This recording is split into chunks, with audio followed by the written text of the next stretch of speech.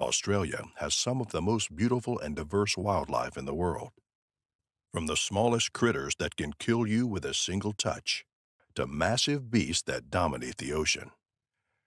Sharks are commonplace in Australia and notorious for being extremely aggressive when provoked, something that Felix Marsh would come to find out during a scuba dive west of Perth in 2010.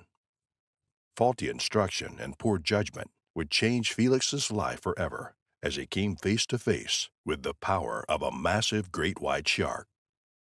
Felix was a Perth resident and spent a great deal of his life in the water, surfing in his free time when not at his job as a construction worker. However, one day one of his friends came to him with the proposition of taking a scuba diving class, where an instructor would show them the ropes and they would be able to check out some of the coral life near the shoreline and see what sorts of fish roam around it. Felix was quick to accept the proposition, and they set up their dive to be in the following week. He managed to snag some free time from work, so everything was going according to plan. On the day of their scheduled dive, Felix and his friend Jan went to the beach before everyone else, and they were both comfortable with surfing on the surface of the water, but not so much being under it. There was no one at the meeting place for the dive, but people started eventually showing up, and they seemed just as nervous as Felix and Jan. They made their acquaintance, and they all remarked how they felt safer knowing that more people were supposed to join them on the dive. All in all, there were five of them there, waiting on the instructor. The instructor arrived eventually, but he was 20 minutes late. He blamed his tardiness on traffic and a hangover which set the group on edge. However, he had a friendly outlook and seemed confident, so the group went along with it. They boarded a small boat stocked with the necessary gear for a scuba dive and went out a few hundred yards from the shore. This was a rookie dive, so the instructor only wanted to show them the basics and some of the underwater flora and fauna through a quick dive. After a rather tedious but detailed instruction on how the scuba gear is supposed to work and how they had to behave in the water, some basic communication signals, and more. Before long, the six of them took their positions on each side of the boat and flung themselves back into the water. Felix remembered that the initial shock of the cold water was disorienting at the start, but he was quick to get acclimated and was gliding through the water in no time. He was struck by the immediate beauty of the corals below them and the, at a glance, millions of fish swimming around them. At the instructor's command, they commenced the descent lower so they could see the reef more clearly. Felix and Jan were entranced by the fish and the vivid beauty of the reef, but they couldn't help but feel like they were being watched. In truth, they were fine as the instructor had years of experience under his belt. The group continued descending until they were a few yards from the reef itself. The instructor told them that they were not to touch anything on the reef, as it was a single massive organism and it mustn't be disturbed. The group was okay with that, so they circled the reef and took in the sights.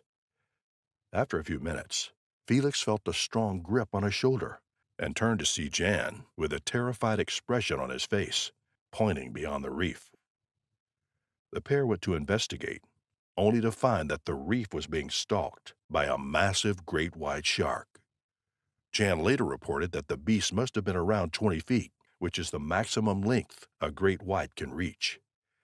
They immediately backed up and went to tell the instructor, who pointed for them to surface. After they breached the surface, a few of the divers immediately panicked and started swimming towards the boat. But the instructor stopped them and said there was nothing to worry about. As long as they didn't disturb the shark, they were fine.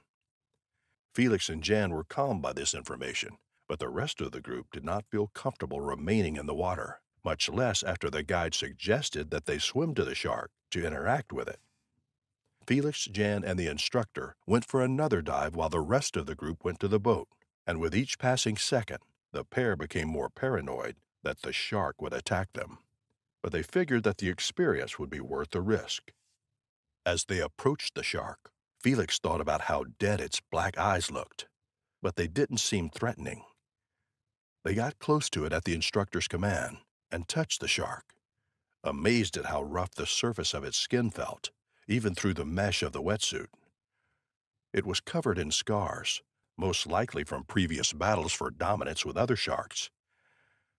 The shark circled them a few times, and it seemed to be minding its own business. However, things changed when they noticed that it started getting uncomfortably close to Jan, which Felix signaled to the instructor, but he didn't respond. This irritated Felix, who quickly swam up to Jan and pulled him away. This caught the shark's attention. As though a switch flipped, the shark suddenly twisted in its trajectory and made a beeline toward Felix, sinking its teeth into his arm and flailing wildly, seemingly trying to rip it off. Felix's respirator immediately fell out of his mouth as he let out a scream that was muted by the water around him. The instructor and Jan immediately swam up to attempt to free Felix, but the shark was simply too strong. Before they knew it, the water was red with Felix's blood, and they could barely see anything. Jan, who was holding on to Felix, felt his friend float into his arms as the shark shot away from them with a trophy in its mouth. Felix was unconscious by this point and losing a tremendous amount of blood, so Jan immediately started swimming up, clutching his friend by his side, with the instructor following close. When they breached the surface, the rest of the group on the boat was waiting with bated breath, as they didn't know what else to do. But two of them rushed to pull Felix out of the water.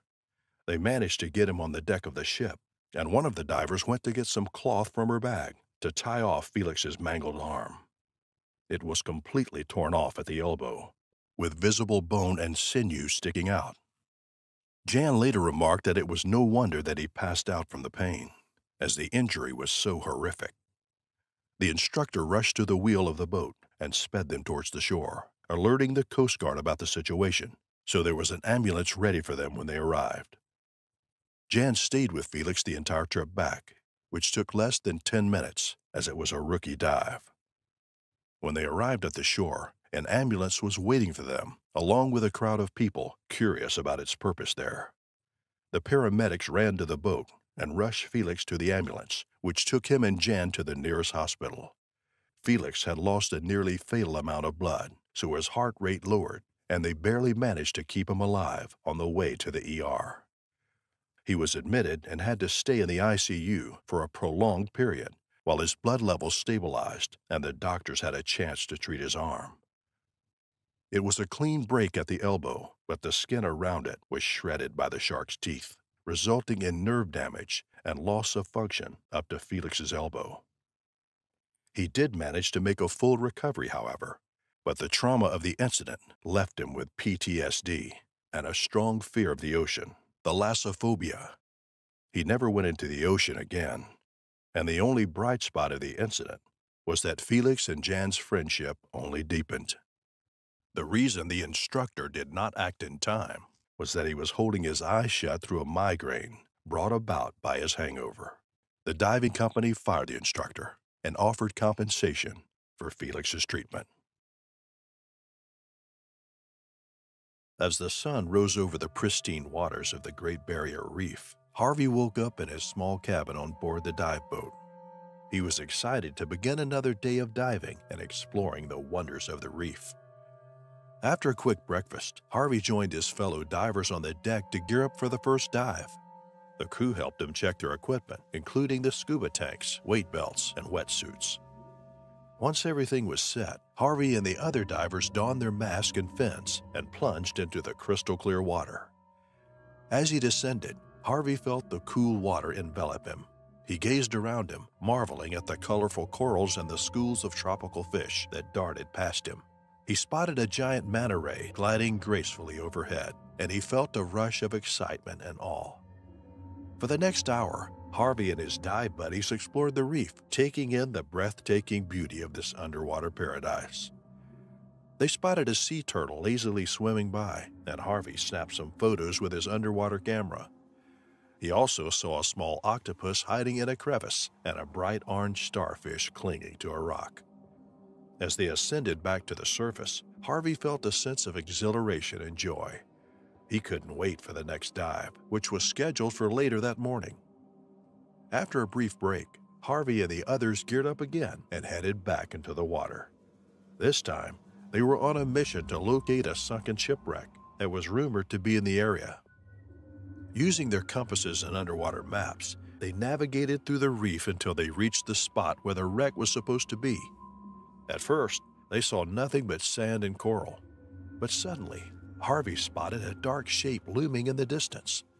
As they got closer, they realized it was indeed a shipwreck covered in barnacles and surrounded by schools of fish. They swam around the wreck, exploring its nooks and crannies and taking more photos. Harvey was thrilled to have discovered such an amazing sight, and he felt a sense of pride and accomplishment.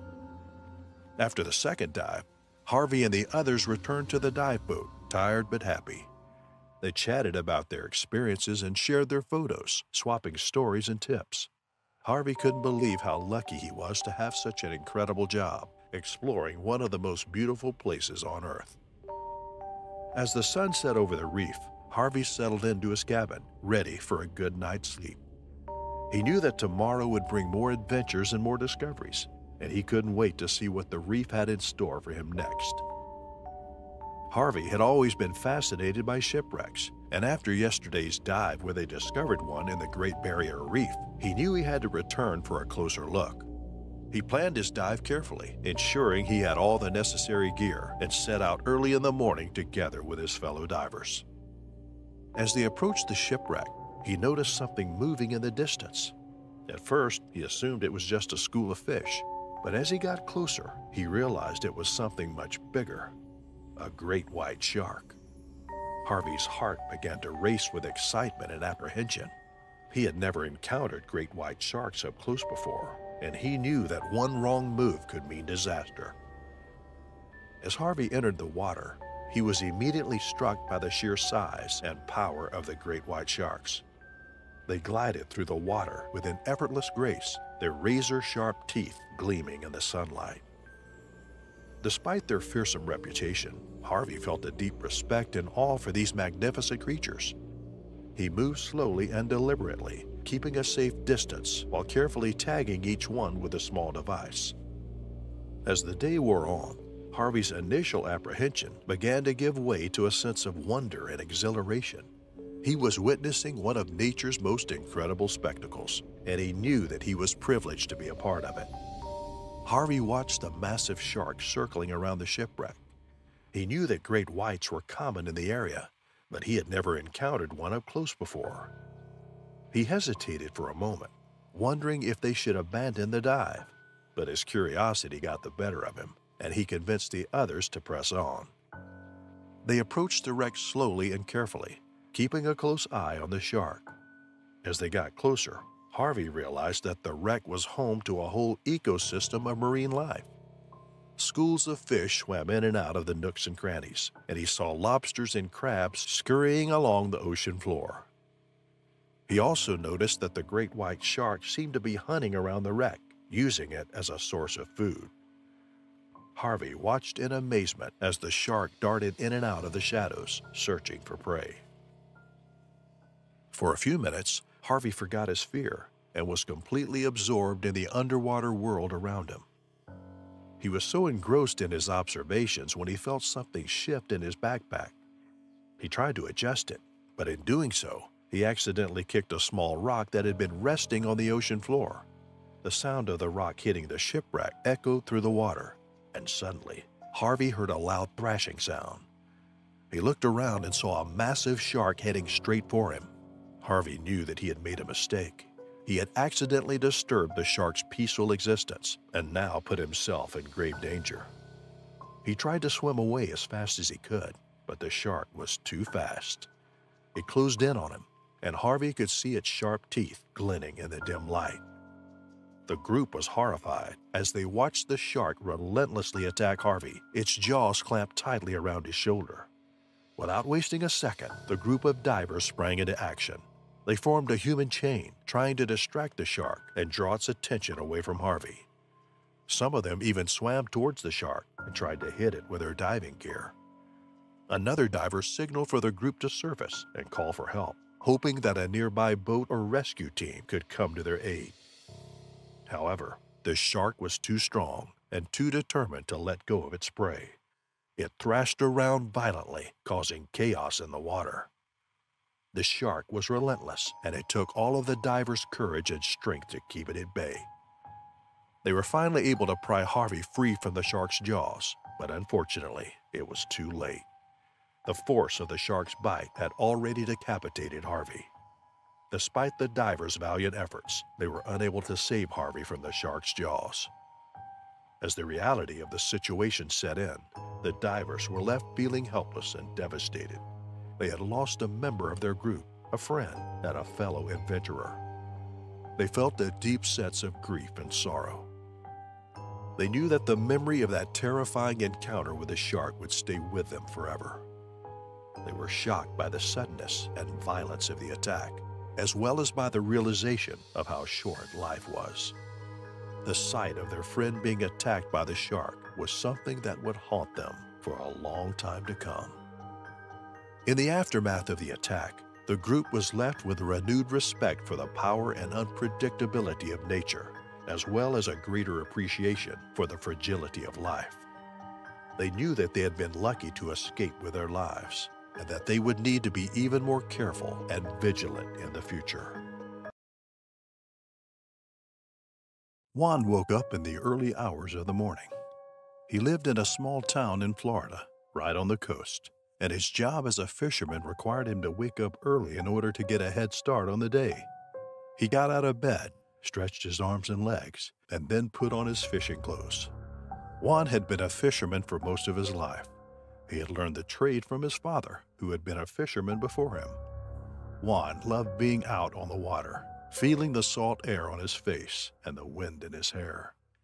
He loved the challenge of trying to catch fish, and he loved the freedom that came with being his own boss. Juan walked out of his small house and walked down to the dock where he kept his boat.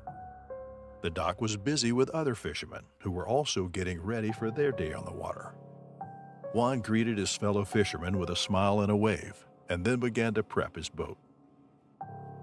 He checked the fuel, the water, and the other important systems on his boat, making sure that everything was in good working order.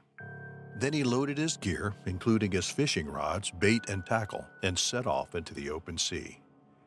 The sky was just starting to turn pink and orange as Juan set out on his boat. He loved the feeling of the sun rising behind him and the way the light made the water sparkle. He headed out to his favorite fishing spot, a few miles from shore, and began to cast his lines. Fishing was not always easy, and it required a lot of patience and skill. Juan had to know where the fish would likely be, and he had to be able to read the currents and the tides in order to catch them. He spent several hours casting his lines, moving the boat around to different spots, and trying different kinds of bait. Finally, he felt a tug on his line, signaling that he had caught something. He began to reel in his line, feeling the weight of the fish pulling against the rod. When he finally saw the fish, he felt a rush of excitement.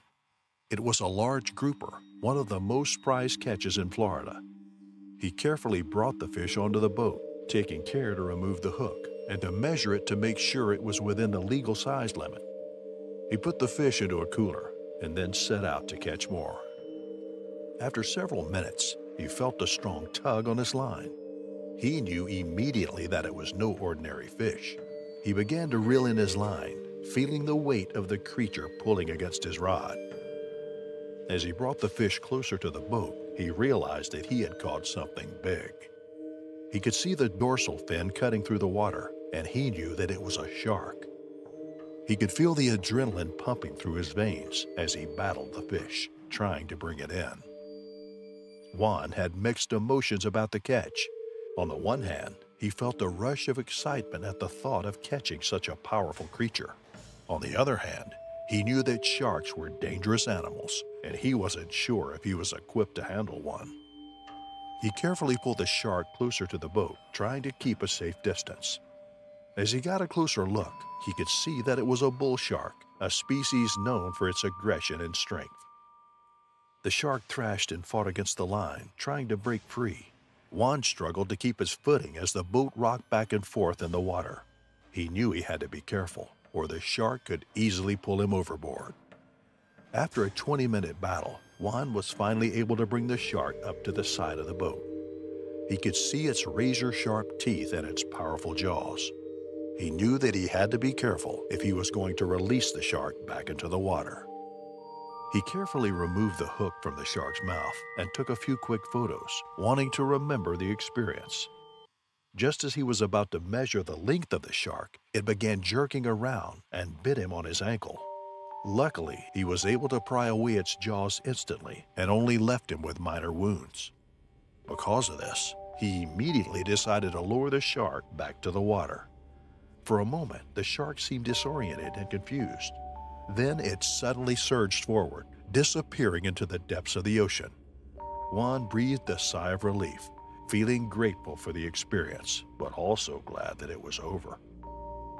Juan sat back in the boat and began treating his wounds, watching the waves ripple from where the shark had disappeared. He sailed back to the dock where he sought medical attention. He was sent home immediately after being treated for his minor wounds. Back at home, he told the unbelievable story to his family, and they knew he had just had one of the most thrilling experiences of his life. It was a moment he would never forget, and a reminder of the power and majesty of the sea. Sebastian and Olivia were a surfer couple from California, and they had been recently married. They always dreamed of spending their honeymoon in Hawaii, and they had been planning their dream honeymoon for months. They were both passionate about the ocean and the thrill of catching waves, and they couldn't wait to explore the famous surf spots in Hawaii. It was the perfect destination for the romantic getaway. As they landed in Honolulu, they were greeted by the sun and warm salty breeze and the sound of waves crashing against the shore. They checked into their cozy beachfront cottage and immediately fell in love with the stunning scenery around them. And as they stepped onto the sand, they felt like they were in paradise. The first few days of their honeymoon were spent surfing some of the best waves in the world. They visited Waikiki Beach, where they rode the gentle waves and watched the local surfers show off their skills. They also went to the North Shore, where they challenged themselves with the bigger, more powerful waves. They also hiked through the lush rainforest and they visited the historic Pearl Harbor Memorial. On the second week of their honeymoon, they decided to visit the island of Maui. There, they rented a Jeep and drove along the scenic road to Hana, taking in breathtaking views of the coastline. One day, they decided to try their luck at a secluded surf spot that they had heard about from the locals. It was a hidden gem surrounded by stunning cliffs and crystal clear water. As they paddled out, they noticed that there was no other surfers around and they felt like they had found their own private paradise. But as they waited for the next set of waves, they suddenly heard a loud splash behind them. They noticed a dark shape moving towards them. At first, they thought it was a dolphin, but as it got closer, they realized it was a tiger shark, its jaws wide open. The shark's razor-sharp teeth were visible, and the couple froze in terror. Their hearts raced as they watched the shark swim towards them, its sharp teeth glinting in the sun. Sebastian and Olivia tried to paddle away, but the shark quickly caught up to them. The couple could see the shark circling them, and they knew they were in serious trouble.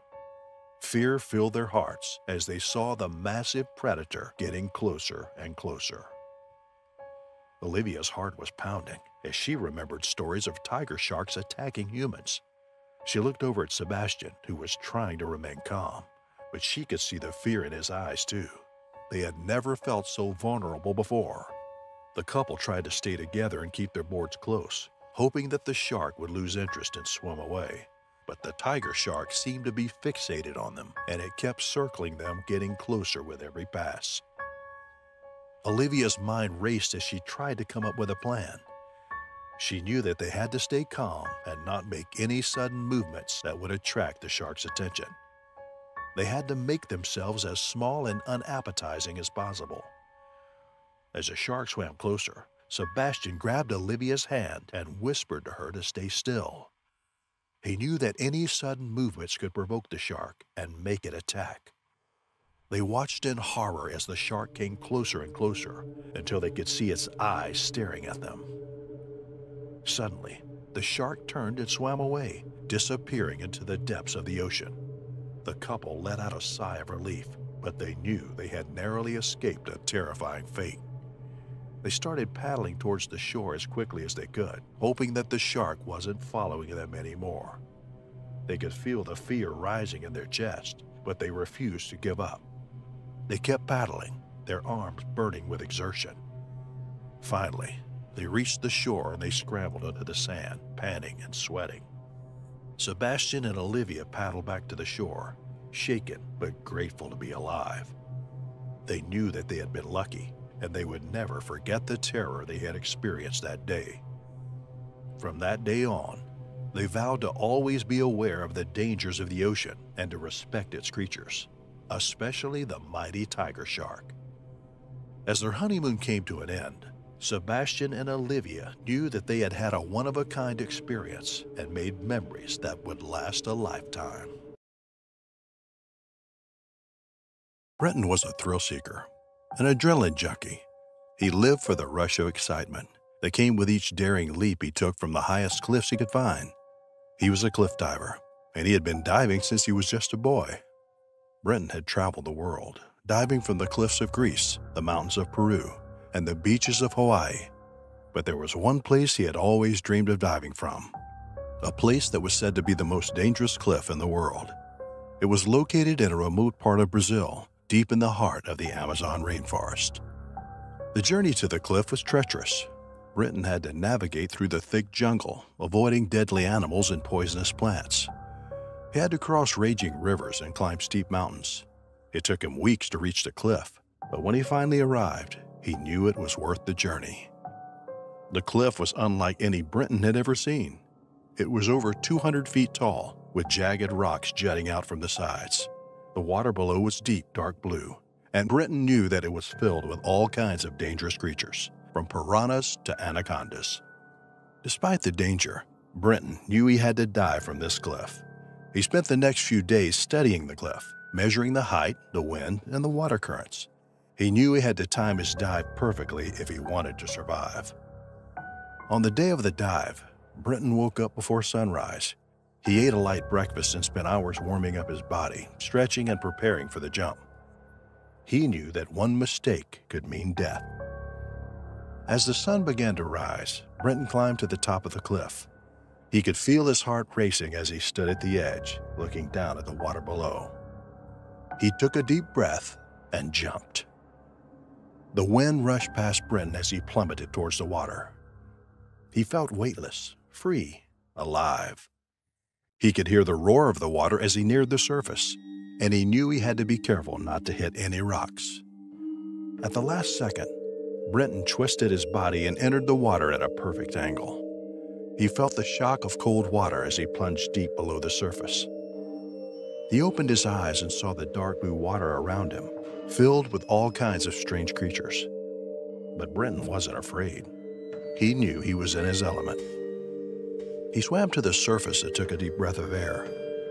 He felt alive, more alive than he had ever felt before. He looked up at the cliff and felt a sense of pride.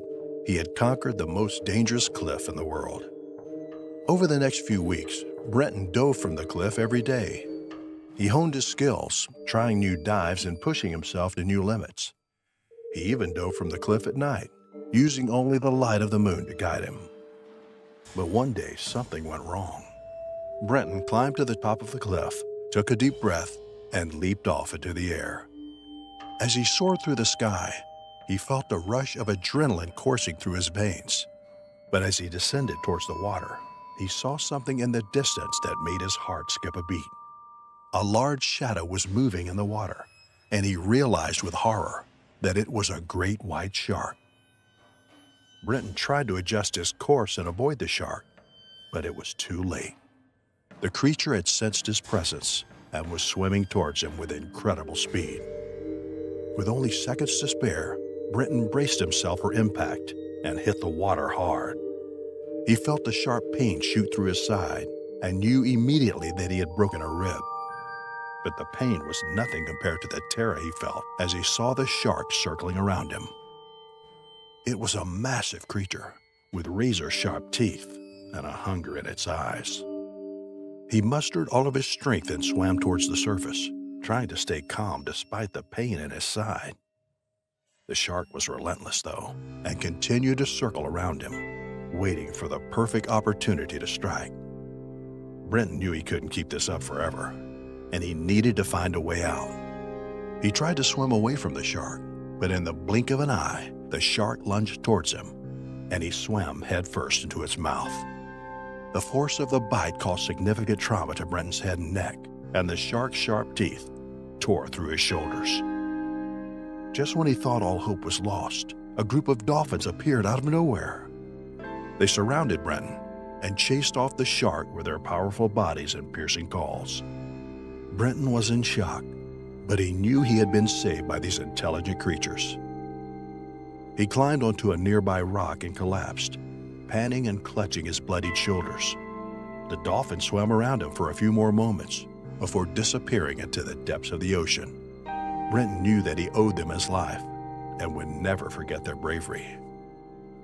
Brenton then swam back to shore, bruised and battered, but alive.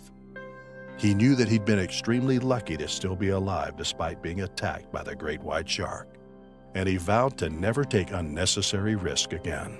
But he also knew that the thrill of adventure would always be a part of his life, and he would continue to seek out new challenges and experiences. Even though he had been scared out of his wits, he knew that he wouldn't want it any other way. The sun was shining bright on the blue waters of the Caribbean as a group of friends boarded a luxurious yacht. Erica, Russell, Lucy, and Jerry were all excited for a day filled with fun and laughter as they had planned a party to celebrate their graduation from college. The yacht was equipped with everything they needed, including a bar, a grill, and a sound system. As they set sail, they turned up the music and cracked open some cold beers. They lounged on the deck chairs, soaking up the sun and taking in stunning views. After a few hours of cruising, they dropped anchor near a secluded cove. They dove into the crystal clear water, swam around, and even tried some snorkeling. They were having the time of their lives. As the sun started to set, they decided to fire up the grill and cook some burgers. They sipped on cocktails and chatted about their plans for the future. Suddenly, they heard a loud splash, followed by a splash from the other side of the yacht. What was that? Lucy asked, her eyes wide. I don't know, Erica said, her voice slightly shaking. Maybe it's just a fish. But as they looked out into the water, they saw a dark shadow circling the yacht. It was a shark. The group quickly scrambled onto the deck, fear in their eyes. What do we do? Russell yelled, panic rising in his voice. Jerry, the most level headed of the group, took charge. Everyone stay calm, he said. We need to figure out a way to scare the shark away. They quickly searched the yacht for anything they could use as a weapon. All they found were some brooms and mops, but Jerry had an idea. Let's bang these against the side of the yacht, he said. It might scare the shark away. The group began banging the brooms and mops against the side of the yacht, making as much noise as they could. The shark seemed to take notice, circling closer and closer to the yacht. Suddenly, the shark lunged out of the water and snapped its jaws at the side of the yacht. The group screamed in terror, sure that the shark would break through the thin fiberglass, but the yacht held up and the shark swam away. The group let out a sigh of relief, hugging each other tightly. That was close, Erica said, her voice shaking. I think it's time we head back to shore, Russell said. I don't want to risk encountering another shark. The group quickly pulled up anchor and set sail back to shore. The party had been ruined, but they were grateful to have escaped unharmed. As they docked the yacht, they were greeted by a group of concerned onlookers. The group explained what had happened, and everyone was amazed that they had managed to scare the shark away. The incident had shaken them all, but they knew that they had had each other to rely on. They hugged each other once more before parting ways, promising to never forget the day they encountered a shark on the party yacht. From that day forward, the group never forgot the importance of safety and preparedness when on the water. They made sure to always have proper safety equipment on hand and to be aware of their surroundings. And although they never went back on a party yacht, they remained the best of friends, bonded forever by their shared experience. In the heart of a bustling city, there stood a massive aquarium housing all kinds of aquatic life, including the crown jewel of the establishment, a majestic great white shark. Visitors from far and wide flocked to the aquarium to catch a glimpse of the magnificent creature, basking in the glory of the glass tank that contained it. The great white, affectionately nicknamed Mighty, had been the star attraction of the aquarium for years, delighting audiences with its graceful movements and fearsome presence. It had been carefully trained by the aquarium staff to perform tricks and interact with visitors, becoming somewhat of a local celebrity. But on one fateful day, something went terribly wrong. The shark, without warning or provocation, began to thrash about wildly in its tank, smashing into the walls and causing a panic among the visitors. The aquarium staff sprang into action, desperately trying to calm the beast and prevent any harm from coming to the visitors. The cause of the shark's sudden outburst remained a mystery, but many speculated it was due to stress or agitation from being cooped up in the small tank for so long. Regardless of the cause, the situation quickly spiraled out of control, with the shark becoming increasingly violent and aggressive. As the chaos ensued, the staff quickly ushered the terrified visitors to safety, but it soon became clear that the shark was beyond their control. Despite their best efforts, the animal continued to lash out, wreaking havoc in its surroundings and causing damage to the aquarium. The situation quickly became a matter of public concern, with news of the rogue shark spreading like wildfire. The authorities were called in to assist with the situation, but their efforts were met with limited success. The shark proved to be a formidable foe, defying all attempts to subdue it and wreaking havoc wherever it went. As the hours turned into days, the shark's rampage continued, and the city was brought to a standstill.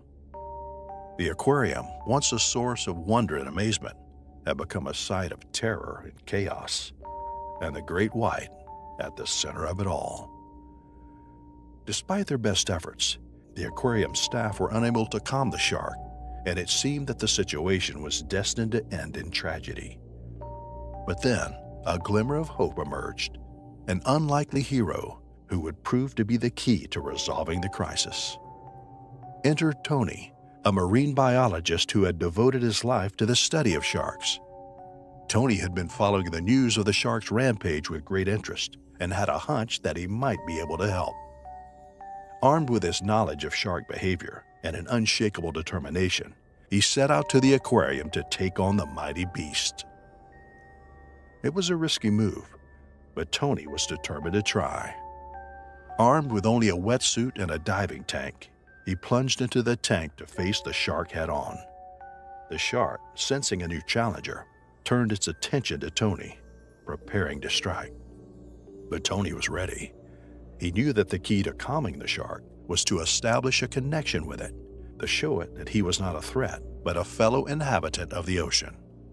With nerves of steel, he approached the shark, speaking to it in a calm, soothing voice. At first, the shark remained agitated, but slowly it began to respond to Tony's presence. As the minutes ticked by, the shark's movements became less frenzied, and it began to calm down allowing Tony to approach it without fear of attack. And then, in a moment of pure magic, the shark and Tony connected. It was as though they were communicating on a level beyond words, with an unspoken understanding passing between them. The shark, which had been so aggressive and violent just moments before, now lay motionless as Tony gently stroked its fin. The crowd watching from outside the tank was silent, holding their breath as they watched the unlikely bond unfold before them. It was as though the shark had found a friend in Tony, someone who understood it and respected its power. After what felt like an eternity, Tony slowly made his way back to the edge of the tank, the shark following him closely. With a final pat on its fin, Tony climbed out of the water, his heart pounding with excitement and relief. The aquarium staff rushed to the tank, stunned at what they had just witnessed. The shark, which had been so out of control just moments before, now seemed perfectly calm and content, its aggression replaced with a newfound sense of peace. Over the following weeks, the aquarium staff worked with Tony to create a more natural and spacious environment for the great white, one that would better suit its needs and provide it with the space it required. The shark thrived in its new home, interacting with visitors in a more natural and respectful way. In the end, the story of the shark in the aquarium gone berserk became a lesson for all. A reminder that even the most fearsome and powerful creatures can be tamed with a little understanding and respect. And for Tony, it was a moment that he would never forget, a triumph that would stay with him for the rest of his life. As he walked away from the aquarium that day, his heart filled with gratitude and awe. He couldn't help but wonder what other secrets the ocean held and what other marvels he might discover in his lifelong quest to understand the mysteries of the deep.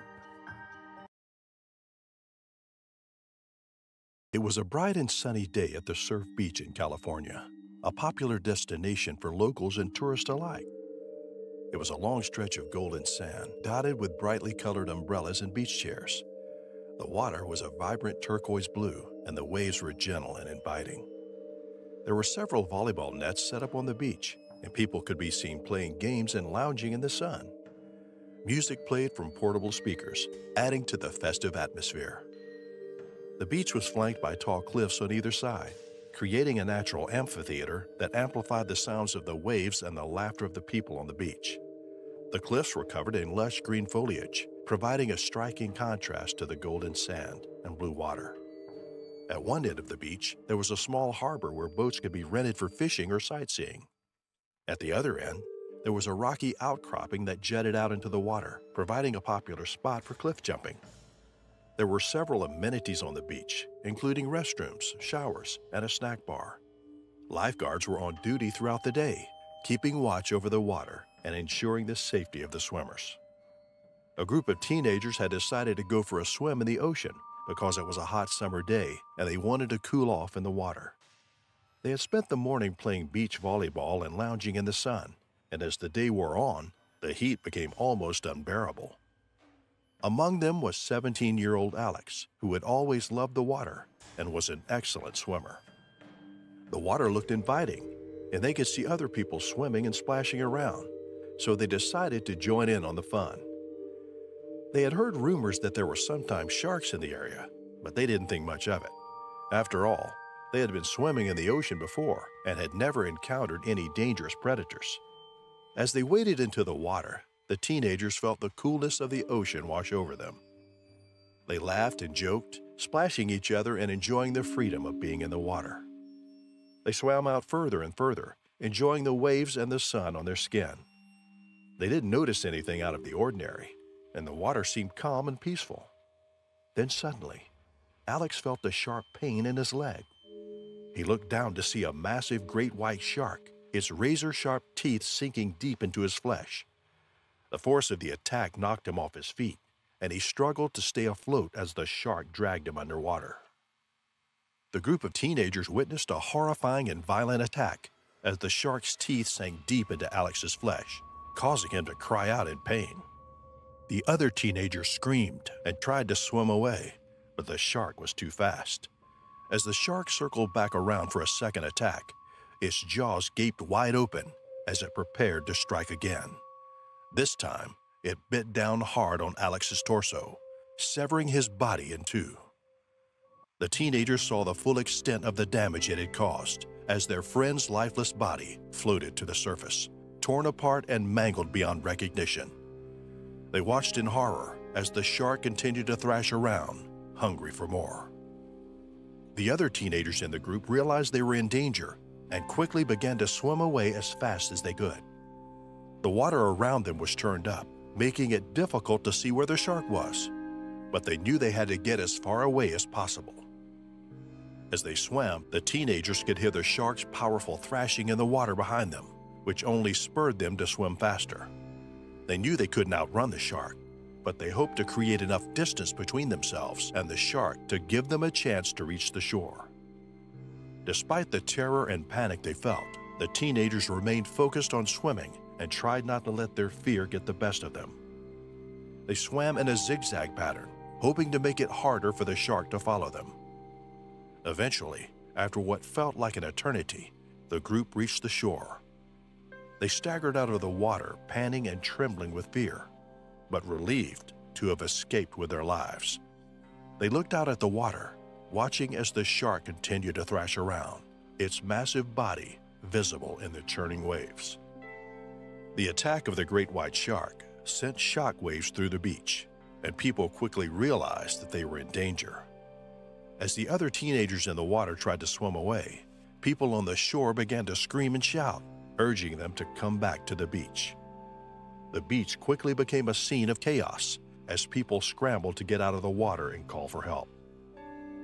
As news of the attack spread, more and more people on the beach began to panic. Parents gathered their children and ran for safety, while others called for help and tried to get as far away from the water as possible. Emergency services arrived on the scene quickly, including ambulances, police, and rescue teams. They quickly assessed the situation and began to take action to control the situation and help the victims. Lifeguards were the first to respond, jumping into the water to try to reach Alex and the other teenagers who had been swimming with him. They could see the water turning red with blood, and they knew they were dealing with a serious situation. Paramedics and ambulance crews arrived next, and they immediately began to tend to Alex. Despite their best efforts, however, they could not save him, as he had been bitten in half by the shark. The police arrived on the scene soon after, and they began to cordon off the area, preventing people from getting too close to the water. They also searched the surrounding area for any signs of the great white shark, hoping to capture or kill it before it could attack anyone else. Meanwhile, rescue helicopters circled overhead, searching the water for any signs of the shark. They used thermal imaging cameras to try to detect the shark's body heat, but they were unable to locate it. As news of the attack spread, more and more emergency services arrived on the scene, including Marine Patrol units and Coast Guard vessels. They scoured the water for any signs of the shark. The beach became crowded with onlookers, and many people were outraged that such a dangerous predator could be lurking so close to shore and called for increased measures to control shark populations. For the family and friends of Alex, there was no comfort to be found in the aftermath of the attack. They were left to grieve the loss of a young life cut tragically short and to wonder how something so horrific could happen to someone so innocent. The memory of that day would haunt them forever, a reminder of the brutal and unpredictable nature of the world we live in. The year was 1883. In the remote coastal towns of Western Australia, pearl diving was a way of life. It was a dangerous job, but for the native people, it was a tradition that had been passed down for generations. One such pearl diver was a young man named Jera, who lived in a small village on the coast. Jera was an expert diver, and he had spent his entire life diving for pearls in the deep waters of the Indian Ocean. He was fearless and had never been afraid of the dangers that came with his job. But one day, his luck ran out. Jera had been diving for pearls for hours, his body accustomed to the deep ocean waters. He had already gathered a good amount of pearls, but he wasn't done yet. He wanted to collect as many as he could before returning to the village. As he dove deeper, he suddenly felt a sharp pain in his left thigh. He thought he had hit a rock or a piece of coral, but when he looked down, he saw a large shadow moving towards him. The shadow grew bigger and bigger, and he realized with horror that it was a shark. Jera's heart raced as the shark closed in on him. It was a massive creature with rows of sharp teeth and a menacing presence. Jera knew he was in trouble, and he had to act fast. He tried to swim away, but the shark followed him, its jaws opening wide. Jera knew he had to fight back. He had heard stories of divers who had successfully fended off sharks, and he hoped he could do the same. He punched and kicked the shark in its nose and eyes, hoping to stun it, but the shark was relentless, and it kept coming back. Jera felt the shark's teeth sink into his flesh, and he screamed in pain. He could feel the blood gushing out of his thighs, and he knew he was in a life and death struggle. He desperately tried to grab his spear, but the shark kept attacking him. He fought back with all his might, punching and kicking the shark in the nose and eyes. The shark was relentless, but Jera was determined to live. He managed to get his spear and jabbed it into the shark's side, causing it to retreat. The shark recoiled in pain, and Jera used the opportunity to swim away from the shark. With blood pouring from his wounds, Jera managed to swim back to the surface. His fellow divers saw him bleeding and pulled him onto the boat. The attack had been brutal, and Jera's wounds were severe. His thighs were torn apart, and he had lost a lot of blood. But he was alive, and that was all that mattered. His fellow divers rushed him back to the village where the elders treated his wounds. Despite his injuries, Jera refused to give up pearl diving. It was the only way he knew how to make a living, and he loved the thrill of the hunt. He returned to the ocean a few months later, but this time he was more cautious. He had learned a valuable lesson about the dangers of the deep. Years passed, and Jera became a respected elder in the village. He shared his knowledge and experience with the younger divers, warning them of the risk and teaching them how to protect themselves. He was proud of his life as a pearl diver and grateful for the lessons he had learned, even if they had come at a great cost. And so, the tradition of pearl diving in Western Australia continued, with each generation passing on the skills and knowledge of their forefathers. Jera's story became a legend, a testament to the bravery and determination of the native people who lived along the rugged coast of the Indian Ocean. Toshiro was part of a crew of experienced fishermen who had been working together for years. They had all grown up in the coastal town of Yokohama, Japan, and had learned to fish from their fathers and grandfathers before them. They had caught all kinds of fish, from small anchovies to large tuna, and had even managed to snag a few exotic fish that had fetched a high price at the local fish market. But there was one fish that had always eluded them, and that was the shark. Sharks were known to be one of the most elusive and dangerous fish in the sea, and catching one was considered a feat of great skill and bravery. Toshiro had heard that there was a high demand for shark meat in the city, and that it fetched a premium price at the market. He knew that catching a shark would not only be a personal accomplishment, but it would also be a lucrative business opportunity. Despite knowing that it was illegal to catch sharks, Toshiro couldn't resist the temptation. He believed that he could catch one without getting caught by the authorities and was willing to take the risk. He began researching the best baits and techniques for catching sharks and spent hours on his boat scanning the horizon for any signs of a shark. He even invested in special gear, including a stronger fishing line and hooks, to ensure that he would be able to catch the shark once he found it. Toshiro was determined to catch the shark, not just for the thrill of the hunt, but also for the potential profits it could bring him. He was willing to break the law to achieve his goal, even though he knew the risk and consequences of getting caught. That is why when Toshiro heard that there had been sightings of sharks in the open waters of the Pacific Ocean, he suggested to the crew that they try to catch one, knowing that it would be a risky but potentially lucrative endeavor. The crew was looking for a big catch to make up for the slow fishing they had experienced earlier in the week, so they agreed to Toshiro's suggestion, albeit reluctantly. They set to work, preparing their gear and bait for the shark hunt. They had a large boat equipped with a powerful motor, and they scanned the horizon for any signs of a shark's fin. They knew that sharks were attracted to schools of fish, so he scanned the water for any signs of movement or activity. They also checked their fishing chart to identify areas where the water was deeper, hoping that this would increase their chances of finding sharks. After a few hours of searching, Toshiro spotted a large fin breaking the surface of the water in the distance. He knew that this was likely the shark he had been looking for, and he quickly steered the boat in its direction. As they approached the shark, Toshiro could feel his heart pounding in his chest. He knew that sharks were dangerous and that any misstep could be fatal. But he was determined to catch the shark, and he believed that he had the skills and experience to do so. Toshiro, being the most experienced fisherman in the crew, took the lead and began taunting the shark with his fishing pole, hoping to provoke it into attacking. But the shark was not easily fooled. It circled their boat, watching him carefully and waiting for an opportunity to strike. Toshiro cast his line, using a large piece of fish as bait. He waited patiently for the shark to bite, hoping that he had chosen the right spot and the right time to catch it. The tension on his fishing line was palpable, and he could feel his adrenaline rising as he waited for the shark to take the bait. Finally, the shark made its move, lunging at the bait with lightning speed.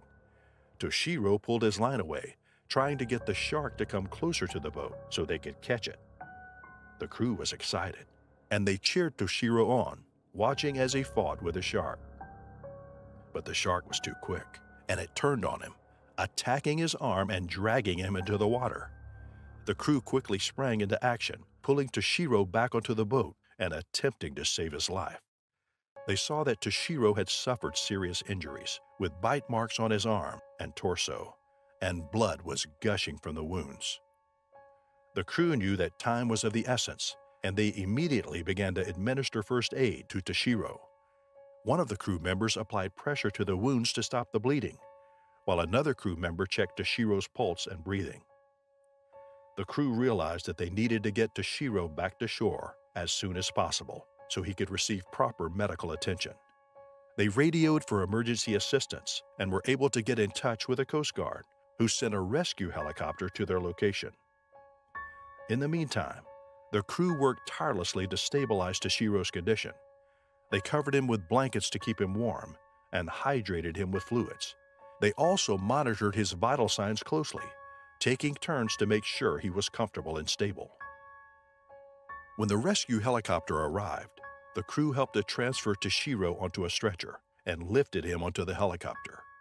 They stayed with him during the flight back to shore, offering words of encouragement and comfort. When they reached the hospital, the crew stayed by Toshiro's side, waiting anxiously for news of his condition. Despite their best efforts, however, Toshiro's injuries were too severe, and he passed away a few hours later. After Toshiro's tragic death, the crew was deeply affected and mourned his loss for several weeks. They had lost not only a colleague, but also a dear friend. The incident had a profound impact on the crew, and they realized that they had taken unnecessary risk in their pursuit of the shark. They vowed never to put themselves in danger again and to prioritize safety above all else.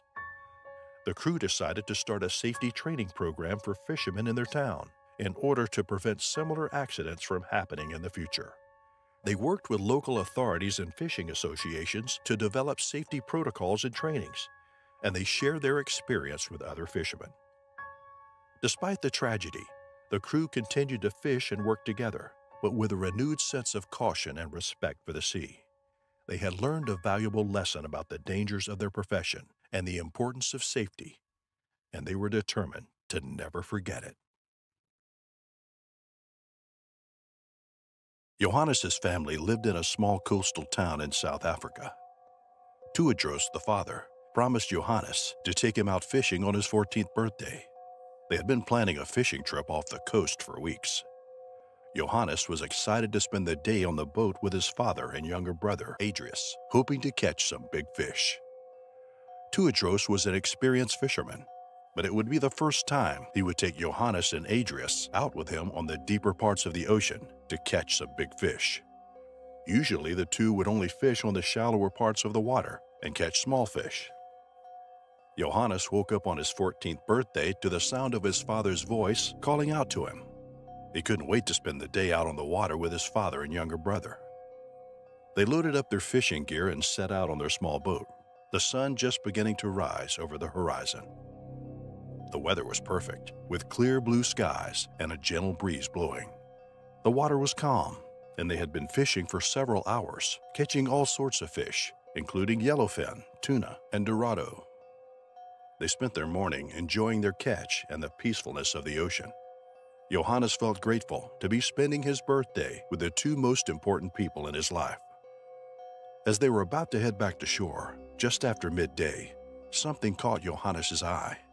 A shadowy figure was circling their boat, and he soon realized it was a shark. Tuadros attempted to maneuver the boat away from the shark, but it was too late. Before anyone could react, it had grabbed Johannes by the leg from the boat. The family was horrified as they watched the shark pulling Johannes underwater. Without hesitation, Tuadros dove into the water after his son, determined to save him. He could hear Johannes' screams echoing in his head as he swam towards him. As Tuadros reached his son, he saw that the shark had bitten Johannes' leg. Blood was pouring out, and Tuadros knew they had to act quickly. Tuadros pulled Johannes towards him and used all his strength to swim back to their boat. The shark was still circling them, but Tuadros knew he had to protect his son. As the two got to the edge of the boat, Adrius helped pull them both onto the boat. The shark tried to attack again, but Tuadros kicked it away with all his might. Once they were back on the boat, Tuadros and Adrius immediately began to tend to Johannes's wounds. They were horrified to see the extent of his injuries. The shark's teeth had left deep, jagged wounds all over his right leg, and blood was pouring out of him in torrents. They frantically searched for a first aid kit, but all they could find were a few bandages and some antiseptic spray. With no other options, Johannes's father knew that he had to take drastic measures to save his son's life. He grabbed a fishing knife and began cutting away at Johannes's torn flesh, trying to stem the bleeding. It was a gruesome sight, with blood and bits of flesh splattering all over the boat. Johannes's screams of agony filled the air, and his family could do nothing but watch in horror as his father tried to save him. After what felt like an eternity, the bleeding finally slowed down, and Johannes's father was able to wrap his wounds in makeshift bandages, but they knew they needed to get to the hospital quickly. Adrius was able to call for help on the radio while Tuadros and Johannes were fighting off the shark, and luckily, there was another fishing boat nearby that responded.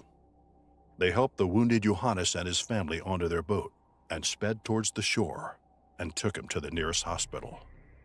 The morning after the attack, a team of marine biologists and shark experts arrived at the hospital where Johannes was being treated. They were determined to identify the shark that had bitten him and caused such a horrific injury. Johannes's leg was heavily bandaged, and he was still in shock from the experience. But he knew that by helping the experts identify the shark, he could prevent other people from being attacked in the future. The team of experts carefully examined the bite marks on Johannes's leg. They took measurements and analyzed the pattern of the teeth marks. They also took DNA samples from the wound. Using this information, they were able to determine that the shark responsible for the attack was a great white shark. The experts continued their investigation, trying to determine why the shark had attacked Johannes.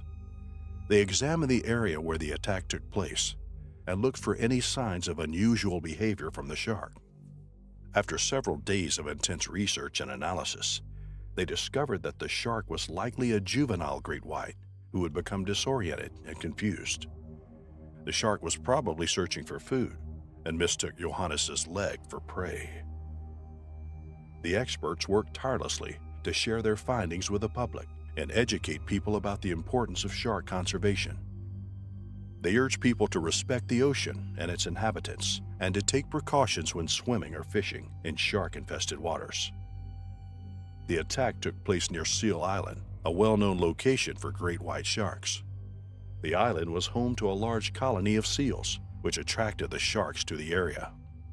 Despite the potential danger, many fishermen and tourists still venture out into the waters around the island, hoping to catch a glimpse of the majestic creatures.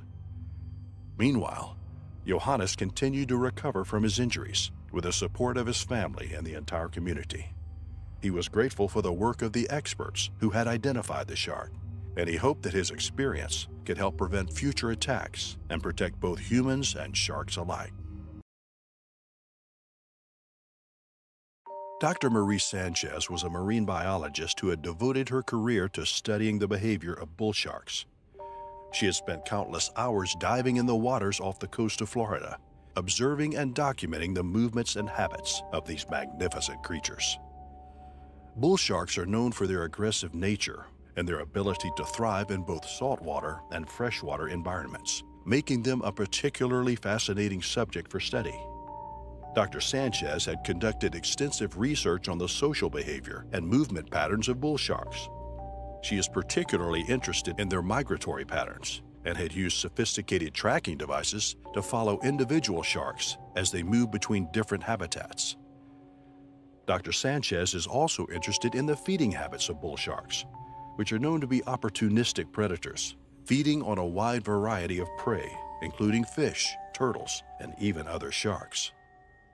She has studied the effects of changing ocean temperatures and other environmental factors on the distribution and abundance of prey species, which in turn can impact the behavior of bull sharks. She had received a grant to study the movements and behavior of bull sharks in the Gulf of Mexico and had been meticulously planning her research for months.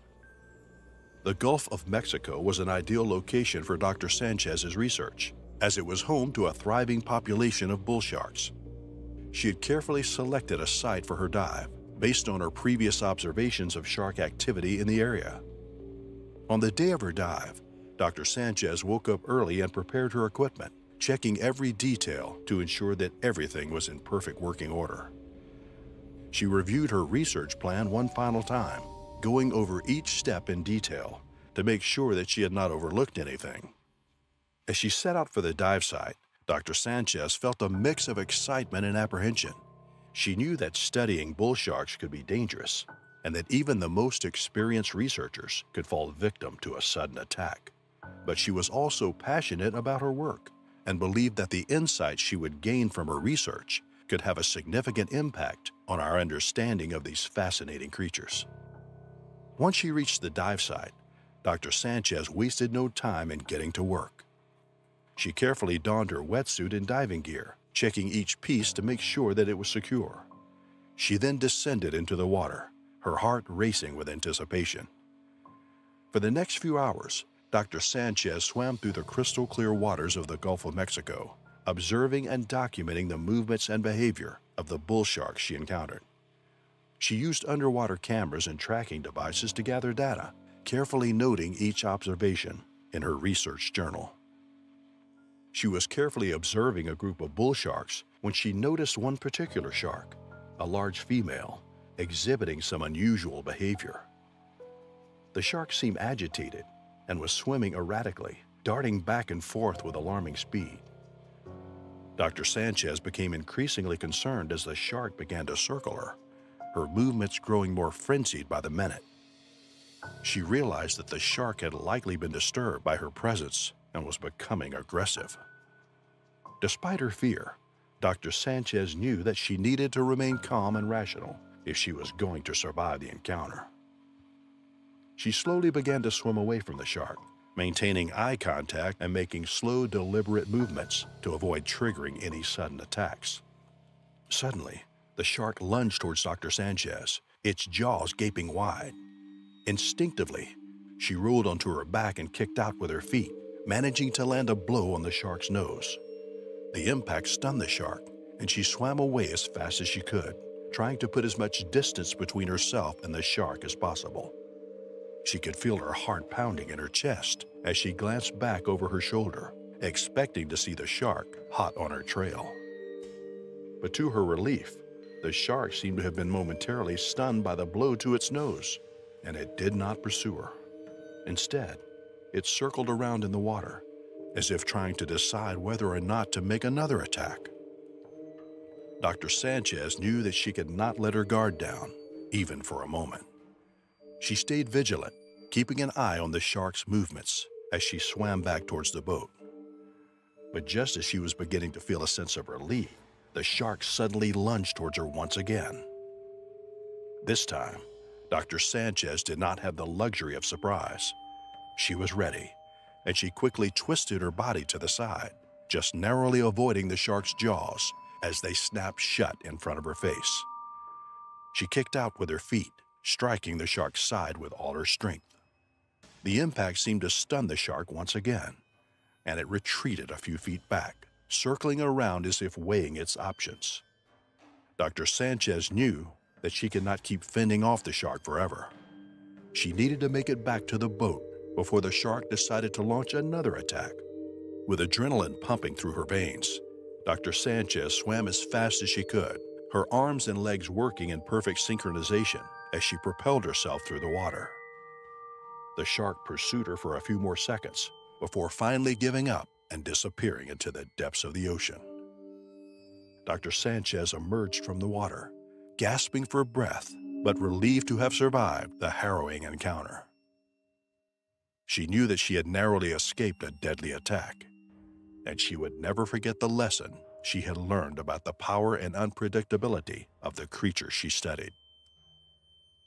The reason for the bull shark's agitation is not immediately clear to Dr. Sanchez, but bull sharks are known for their aggressive nature and unpredictable behavior, and it's possible that the shark was simply reacting to her presence in its territory. However, as Dr. Sanchez later reviewed the footage from her underwater camera, she noticed that the shark had a large fishing hook embedded in its mouth. It was possible that the hook was causing the shark's pain or discomfort, making it more aggressive and unpredictable than usual. Dr. Sanchez knew that the presence of fishing gear and other human activities in the ocean could have a significant impact on the behavior of marine animals. She made a note to investigate further and to share her feelings with local authorities and conservation groups to raise awareness about the need to protect the ocean and its inhabitants. Kai had always been drawn to the ocean. He grew up in Hawaii spending his childhood exploring the coral reefs and learning about the creatures that live beneath the waves. As he got older, he became fascinated with scuba diving, and he spent every spare moment honing his skills and exploring the underwater world. But there was another reason that Kai was out diving that day. He had recently started working for a local conservation organization, and part of his job involved monitoring the health of the coral reefs and the creatures that lived there. Kai was passionate about the environment and was determined to do everything he could to protect it. He knew that the oceans were facing unprecedented threats, from climate change to overfishing to pollution, and he wanted to do his part to make a difference. So when he heard that there had been reports of tiger sharks in the area, Kai knew that he had to investigate. He knew that tiger sharks were one of the ocean's most fearsome predators, but he also knew that they played a vital role in the ecosystem. Kai woke up early that morning, excited for his planned scuba diving excursion. He had been looking forward to this day for weeks, as he was planning to explore a new reef that had never been visited before. He packed his stuff and set out for the boat launch, eager to start his adventure. As he set out on his dive, Kai was focused and determined. He had his dive gear checked and double checked, and he made sure that he was fully prepared for whatever he might encounter. He knew that the ocean was unpredictable, but he was confident in his abilities and his training. As the boat anchored, Kai suited up and prepared to enter the water. He checked his gear carefully, making sure that everything was in working order. Then he slipped into the water, feeling the cool rush of the ocean around him. Kai began his descent, marveling at the beauty of the reef below him. He saw schools of colorful fish, vibrant coral formations, and even a few sea turtles. He felt alive and free, completely immersed in the wonders of the underwater world. As Kai was exploring the reef, he suddenly saw the dark shape of a tiger shark swimming towards him. He recognized the shark immediately and knew that he had to be careful. His heart began to race as the shark circled around him, its sharp teeth glinting in the sunlight. He slowly backed away from the shark, trying to keep some distance between himself and the predator. But the shark was persistent and continued to circle around him. Kai tried to remain calm, remembering his training and how to handle shark encounters. Kai knew that he had to keep his wits about him. He tried to keep his breathing slow and steady, hoping that the shark would eventually lose interest and swim away. But then, without warning, the shark suddenly lunged towards him, Kai felt a sharp pain in his arm as the shark's teeth sank into his flesh. He kicked and flailed, trying to fight off the shark, but it was too strong. As the shark continued to bite down on his arm, Kai remembered the small knife that he always carried with him. With all his strength, Kai plunged the knife into the shark's eye. The shark let go of him immediately, thrashing in pain. Kai swam away as fast as he could, his arm throbbing with pain. He knew that he had to get back to the surface as quickly as possible. He was bleeding profusely from the wound on his arm and was in severe pain. He managed to grab onto a nearby buoy and called for help. As he waited, Kai tried to keep his breathing steady, trying not to panic. He knew that he was lucky to have survived the attack and was grateful for his training and quick thinking that had saved his life. Finally, a nearby boat heard his cries for help and rushed over to rescue him. They pulled him aboard and immediately called for emergency services. Kai was rushed to the hospital where he underwent emergency surgery to repair the damage to his arm. The doctors managed to stop the bleeding and stabilize his condition, but Kai still had a long road to recovery ahead of him. Over the next few days, Kai remained in the hospital, receiving treatment for his injuries. He underwent multiple surgeries to repair the damage to his arm and had to undergo physical therapy to regain his strength and mobility. Despite the pain and discomfort, Kai remained in good spirits. He was grateful for the outpouring of support and well wishes from his family, friends, and fellow divers. He knew that he was lucky to have survived the attack and was determined to make a full recovery. As he slowly regained his strength, Kai began to reflect on the experience. He knew that he had come face to face with one of the ocean's most fearsome predators and had managed to survive through quick thinking and training. He also knew that he had a responsibility to share his story and to use it as a teaching moment for others. So Kai began to speak out about his experience, sharing his story with local schools, dive clubs, and conservation organizations. He talked about the importance of respecting the ocean and its inhabitants, and he stressed the need for education and awareness about the dangers of the open water. Despite the trauma of the experience, Kai refused to give up his passion for diving. He knew that the ocean was full of danger, but it was also full of wonder and beauty, and he was determined to continue exploring its depths, no matter what dangers lay ahead. The animosity of a provoked shark is one of the most terrifying things a person can witness, let alone experience. Sharks have rows of razor-sharp teeth attached to a powerful jaw, capable of ripping a human head off in an instant. So the fear of the ocean that many people have is quite justified. The story we have for you today concerns Sam Mitchell, a tourist who found himself in the murky deep and in the face of death from which he didn't manage to escape. The story of his demise was told by his best friend Thomas as a first-hand witness. Thomas and Sam met in Oklahoma during a comedy show in 2000 and remained steadfast friends through shared interest and a love for ocean fishing. The pair went on many voyages to catch fish from the waterways of their hometown to the deep oceans around the United States Sam's favorite fishing experience was fishing for Goliath groupers in the Florida Keys, as the sheer power of the beast was something that couldn't be described with words. They spent many holidays on family fishing trips, as Sam was Thomas's best man at his wedding. Sam was a solitary type, enjoying only the company of his dog and the occasional girlfriend. He always had his best friend, so the pair decided they would relive their Goliath grouper experience on the 10th anniversary of the day they met. They booked a trip to Florida in August of 2010 and arrived in the early hours of the morning. They specifically wanted to go to the Florida Keys again, so they set up their accommodation in the same place as before, since they knew the owner. The next day, they enjoyed the time they took off work to lounge around the beach all day stopping at the local sites and driving to Miami for some drinks. They didn't stay too long as they wanted an early start to the fishing, so they got back around 10 p.m. The following morning, the pair went out to rent a boat as well as some fishing equipment they would need for the day. Regulations were stricter at this point, so they had to have two boat instructors with them, despite their experience in both piloting a boat and fishing for Goliaths. The men that went with them were also seasoned fishermen, and despite their age, they were excellent and enjoyable company for Sam and Thomas. It took them about 30 minutes to reach the place where the groupers usually gathered, and it was a relaxing experience for the most part. Groupers are notoriously powerful fish, so fishermen need to use a 400-pound monofilament line to even attempt to pull them in. Luckily, Sam and Thomas's boat was equipped with everything they would need. The fish took a while to bite despite the fresh bait the two guys procured at the start of their journey. But one did eventually bite, and it nearly pulled Thomas into the ocean within a moment.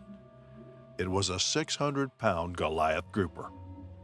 Sam and one of the instructors rushed to help Thomas keep hold of the fish, and they just barely managed it.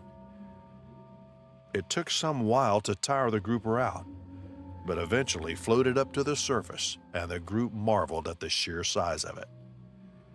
They freed the large hook from the fish's lip and pushed it a bit to get it to swim again. Harvesting or killing a grouper was only allowed during certain seasons, and often through a lottery draw for a single fish. But just the adrenaline of reeling in a behemoth like that was enough for any fisherman. The day went on and the group caught some smaller fish as well as the occasional grouper. But it started going wrong when Sam managed to hook one. His battle with the fish was cumbersome and difficult.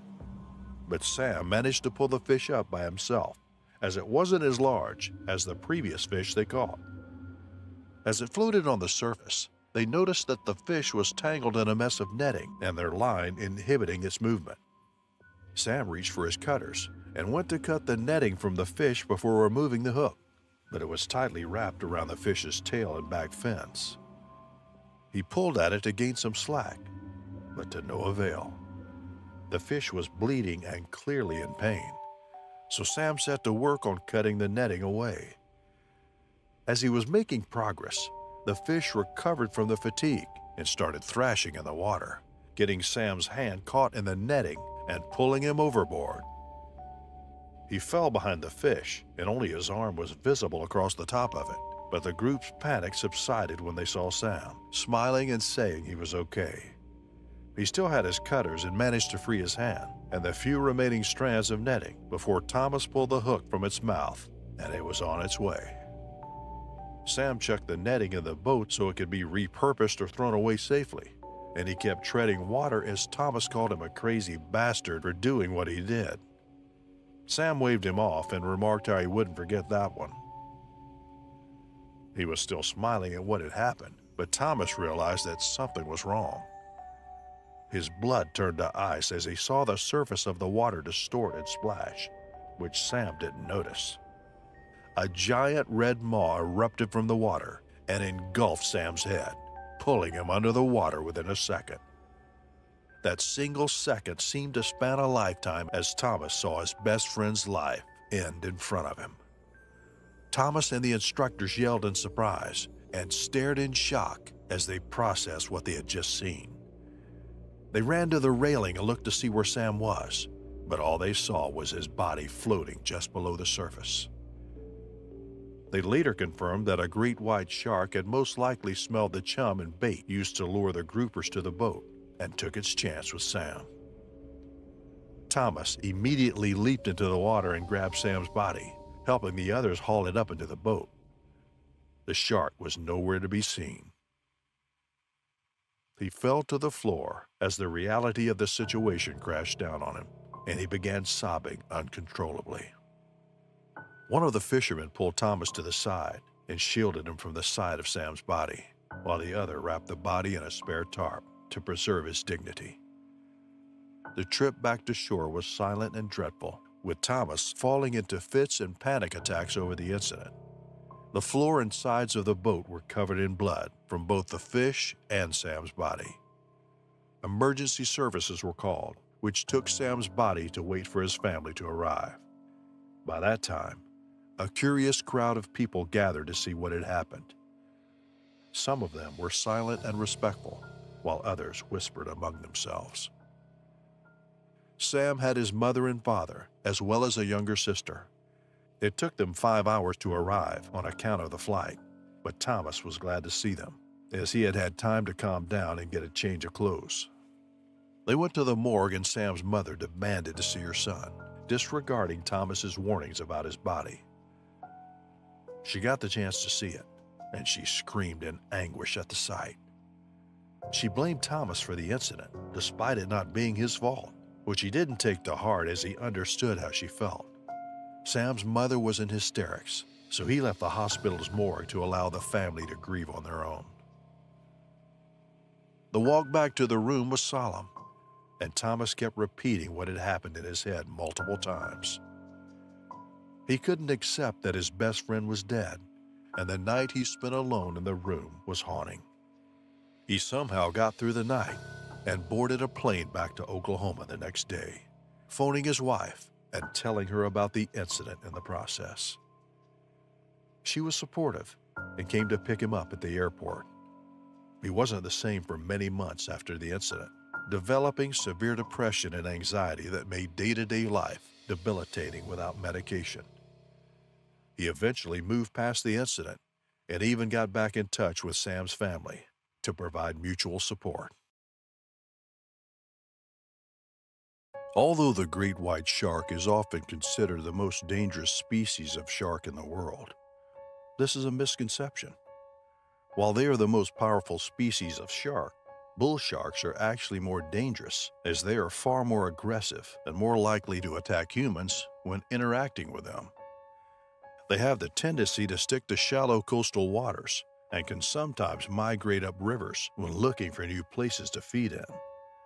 Bull sharks can be found all around the world, but the case that we're bringing to you today was noted in Sierra Leone, where Michelle Jones, a tourist, would learn the full potency of nature. Michelle was from North Carolina and had a job as a teacher. She lived in the same town all of her life and always wanted to travel the world. But the tight budget of a school teacher in the United States prevented that. Her husband Roger was a blue collar worker and rarely had enough time for leisure. The pair lived their lives for many years before Michelle's husband announced that they were taking a trip. She was surprised and Roger explained that he had won a bonus at his job, and they could use some of their savings to essentially go wherever they wanted to. Michelle was overjoyed by the news, and it took them a few days to agree on where they wanted to go. After some back and forth, they compromised on Sierra Leone, as they had heard amazing things about it. Sierra Leone had fantastic sights, and its beaches were ideal for tourists to lounge and relax from the stress of life. Their trip was booked in no time, and they had two weeks of relaxation ahead of them. They arrived in Sierra Leone on July 17, 1998, after a long flight with a few layovers, so they were quite exhausted and decided just to head to their accommodation and call it a day. The next few days were spent seeing the sights of the city, visiting museums, having drinks, and just enjoying everything the city had to offer. Near the end of the first week, the pair decided they would enjoy some time at the beach. After a day spent lounging around, they went back to their hotel and spotted a sign advertising a cruise from Freetown to Tenerife, which would last for the entire day. Since they were the type to jump at the chance for new experiences, they decided to go on the cruise. Two days later, the cruise was set to start at 9 a.m., so Michelle and Roger got there 30 minutes early. There were 10 more people aside from them, and the tour guide was in high spirits and quite friendly. So the mood was good. They had never been on a cruise before, so they were excited for the day to come. The cruise took two hours to reach its initial destination, after which they would have some time to enjoy the sights and whatever they wanted to do. Then they had the trip back. The trip to Tenerife was relaxing and enjoyable, as the weather was on their side and the guide's stories about Sierra Leone was quite enjoyable. Michelle and Roger spent their free time in Tenerife very similarly to their first few days in Freetown, so it was quite enjoyable. The trip back to Freetown was much the same, but something that made the boat slow down was a small shiver of sharks accumulating around a single point in the water, something you wouldn't see too often. The guide asked the pilot of the boat to slow down so everyone could get a better look. Upon closer inspection, they saw that there were three sharks feeding on something in the water, and they couldn't identify it on account of all the blood in the water. The tourists gathered on the boat's railing to see the shark, as the guide described it as a must-see event. They pressed on the railing, struggling to see over each other to take in as much of the scene as possible. Michelle and Roger were side by side and talking about how interesting the scene was. The sharks were ravenous and zipping through the water, absolutely tearing at whatever was in the water. At the peak of the feeding frenzy, the guide said that the boat would start up at that point to stay on schedule. The boat was turned on and started slowly moving forward, and the guide continued to explain what they would do upon returning to Freetown. However, the guide's words were drowned out of Michelle's ears as she hyper-focused on the squeaky railing getting progressively louder. It gave way. Within a moment, Michelle found herself splashing in the water in the middle of the shiver of sharks. The rest of the people on the boat barely managed to hold on to each other to not follow Michelle. Roger screamed after his wife and made an attempt to jump in after her, but the guide prevented him from doing that since the shark would attack him as well, and they would have to save both of them. The moment she fell into the water, Michelle immediately felt the harsh, coarse skin of one of the sharks shred the skin on her back, making her yelp in pain. She flailed her arms in panic as she tried to get to the surface more securely. Normally, Michelle might have had a chance to swim to safety if it was a different shark species in the water with her. But these were bull sharks, and they were hungry. Just as Michelle made eye contact with Roger, she felt a searing pain in her lower thigh which made her shriek and fall below the surface again. The shark took the move to take the first bite and was quickly out of the way to make way for the next mouth. The guide and the boat's pilot were trying to get the boat closer to Michelle, but it had already moved at least a dozen yards away. Roger was screaming at them to get the boat closer so he could pull his wife to safety, but it wasn't working out at all. Michelle felt another set of teeth clamp down on her ankle pulling her under the water as a strong force knocked into her ribs, disorienting her. All at once, she felt a tremendous amount of pain as the third shark took hold of her right arm, tearing into it and releasing a red mist in the water around her. The pain was more than too much, so after expressing one final scream with the last of her breath, her consciousness started to fade. The last thing she remembered before waking up in the hospital was her husband's hands clutching her arms and pulling her up from the aquatic hell. According to Roger, Michelle was losing a large amount of blood, so the boat was rushing across the water as fast as it could, while the rest of the people on the boat helped tend to Michelle. The only reason Michelle is alive today is that among the group of tourists there was a single nurse and the boat had a first aid kit and its essential equipment. Her wounds were bound and tourniquets were applied, but it wasn't much in the way of helping her survive for sure. Emergency services were called to the port, where the boat was supposed to dock, and two paramedics were ready by the time they got there. She was quickly taken to an ambulance, followed by her husband. After she was admitted to the emergency room, the doctors informed Roger that Michelle had lost nearly 35% of her blood, which was near the lethal point but she would survive. It took a few days for her to stabilize before she could be seen, so Roger was more than relieved when he saw his wife was okay. Her injuries were debilitating as there was some nerve damage and loss of function, so she needed a good deal of physical therapy to be able to walk and use her arm properly. That took months, but she did pull through and was back to teaching after a few months of recovery. She said that what happened in Sierra Leone was tragic, but it was the way nature worked. She fell into the shark's plate, and they responded instinctively. She mentioned multiple times how much she appreciated her husband and the effort he put in to help her that day. Jenny had always been a hopeless romantic, dreaming of the day when she'd find her Prince Charming and live happily ever after. She thought she'd found him in her fiance, but life had a way of throwing curveballs that she never saw coming. When her fiance unexpectedly broke off their engagement, it felt like the world had come crashing down around her. Feeling lost and heartbroken, Jenny knew she needed to take some time for herself to heal. She decided to book a flight to Hawaii, a place she had always dreamed of visiting. Her love for the ocean and all its wonders had led her to choose this destination, and she knew that diving and exploring the underwater world would be the perfect escape.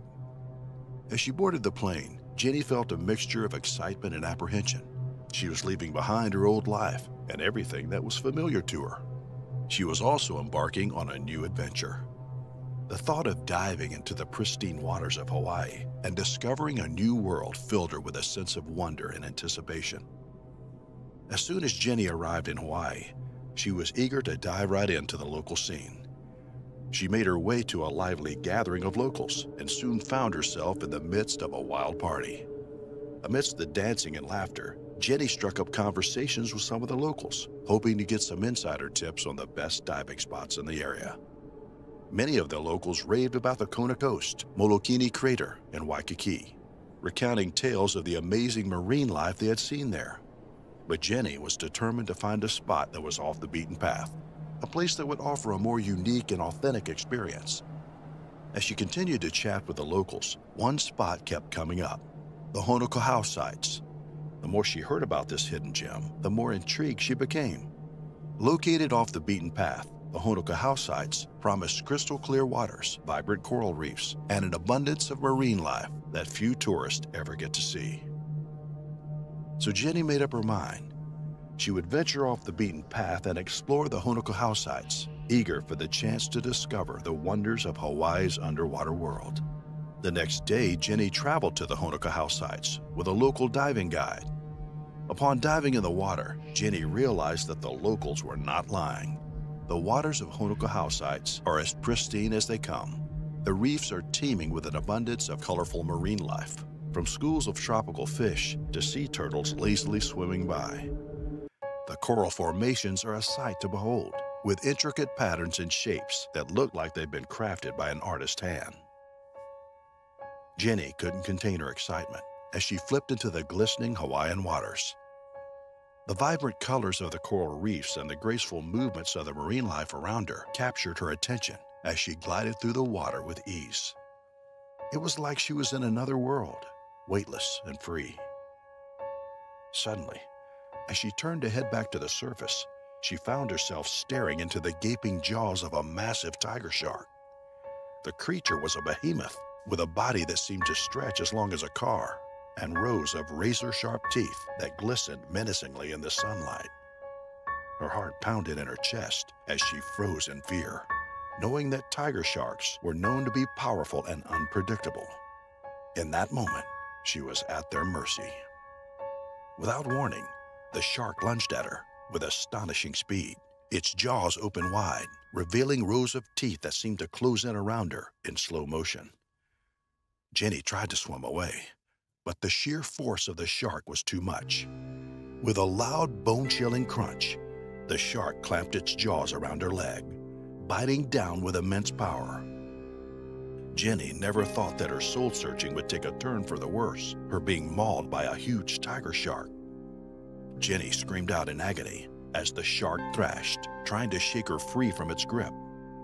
She fought with all her might, kicking and punching the shark's snout in a desperate attempt to break free. Blood clouded the water around her, adding to the chaos of the scene. Despite the excruciating pain and the fear coursing through her veins, Jenny refused to give up. Her survival instincts kicked into high gear, and she summoned all of her strength to fight back. She remembered reading that tiger sharks have sensitive snouts, so she reached out with her free hand and poked the shark's eyes with all her might. The shark recoiled in pain, loosening its grip on Jenny's leg, just enough for her to wiggle free. With a burst of adrenaline-fueled energy, Jenny swam with all her might, desperately trying to reach the surface. The water around her was tinged red with blood, and her leg throbbed with a searing pain. But she refused to let go of her will to survive.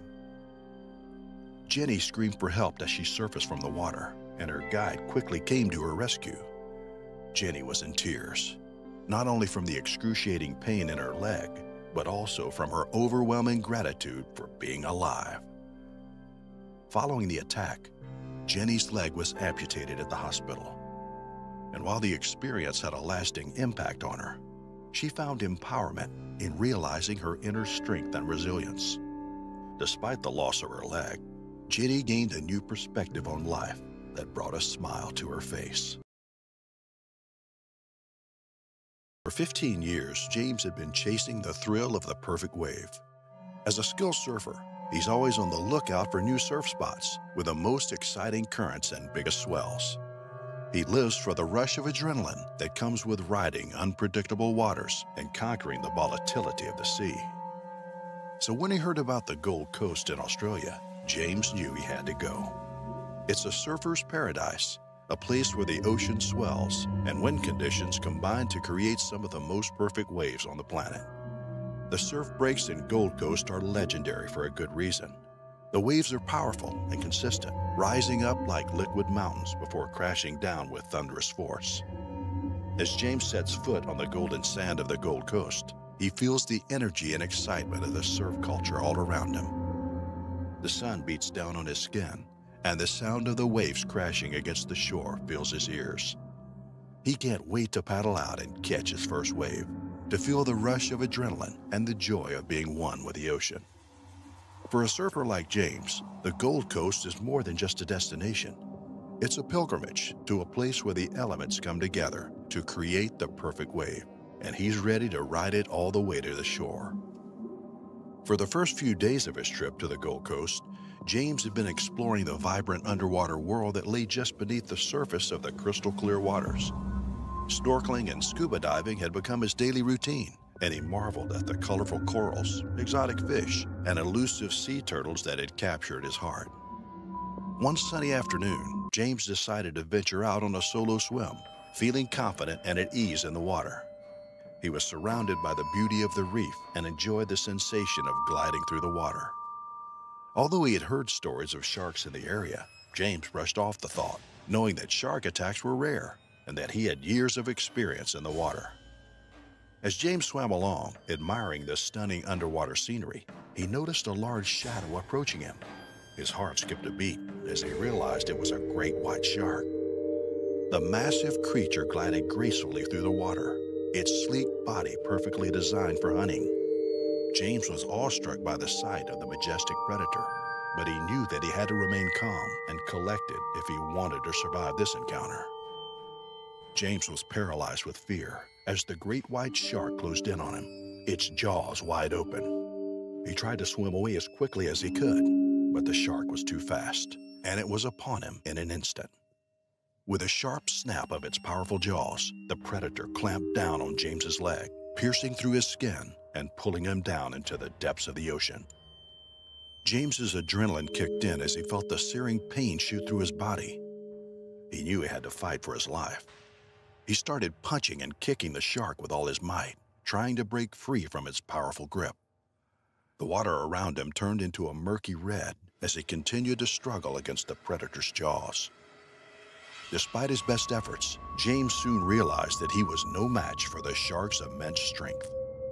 The creature continued to drag him down deeper and deeper into the ocean, making it harder and harder for him to breathe. James knew he had to come up with a new plan if he wanted to survive this brutal attack.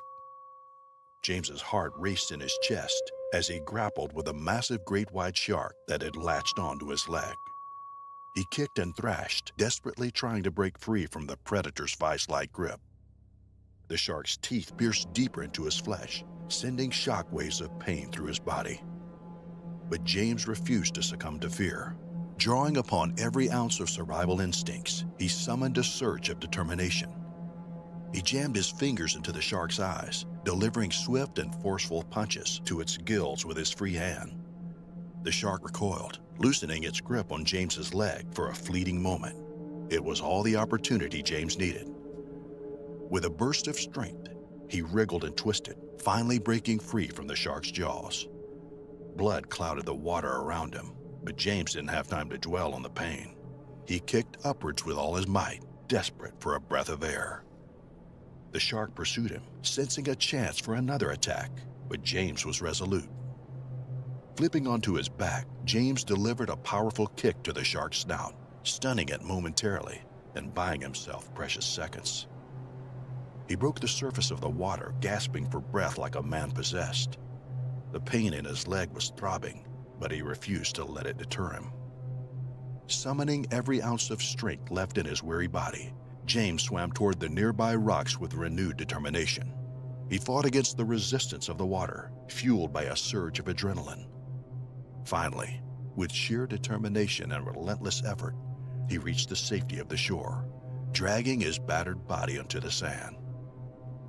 James lay motionless on the sand, his body bleeding profusely.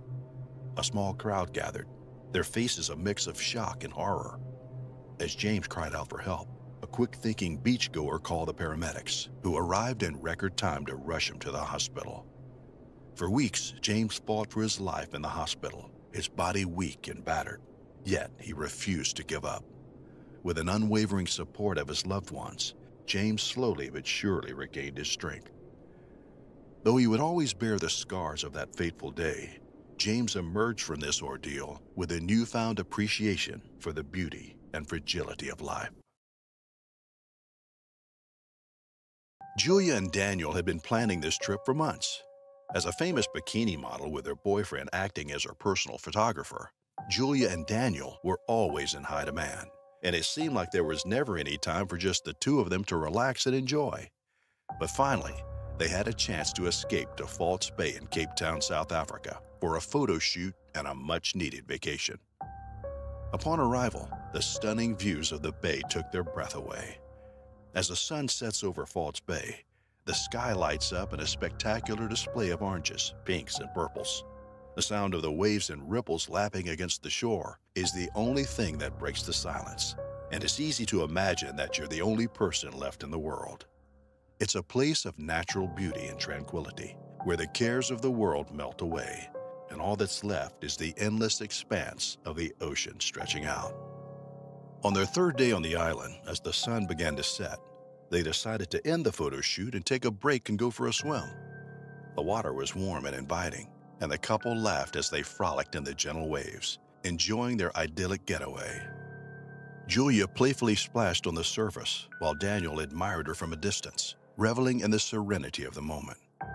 Little did they know that lurking beneath the surface was a danger that would soon shatter their peaceful getaway. The tranquil sunset took a turn for the worse as Julia let out a piercing scream, alerting Daniel that something was terribly wrong. He could see the fear etched on her face as she struggled to keep her head above water and the unmistakable sight of blood starting to spread around her. With his heart pounding in his chest, Daniel knew he had to act fast. Without a moment's hesitation, he dove into the water and immediately saw the cause of Julia's distress. A bull shark had latched onto her leg, and its powerful jaws were clamped tight, causing her immense pain. Daniel could feel his adrenaline coursing through his veins as he swam towards them, fully aware of the danger that lay ahead. He knew he had to act quickly if he wanted to save Julia from the shark's deadly grip. As he reached the shark, Daniel took a deep breath and started throwing punches and kicks at the creature, hoping to make it release its hold on Julia. Every blow he landed on the shark only seemed to make it angrier, and it pulled Julia further away from him. The situation was getting more terrifying by the second. The shark had a tight hold on Julia's leg and was pulling her further and further away from safety. Julia's screams echoed in the water, as she felt the creature's razor-sharp teeth sinking deeper into her flesh.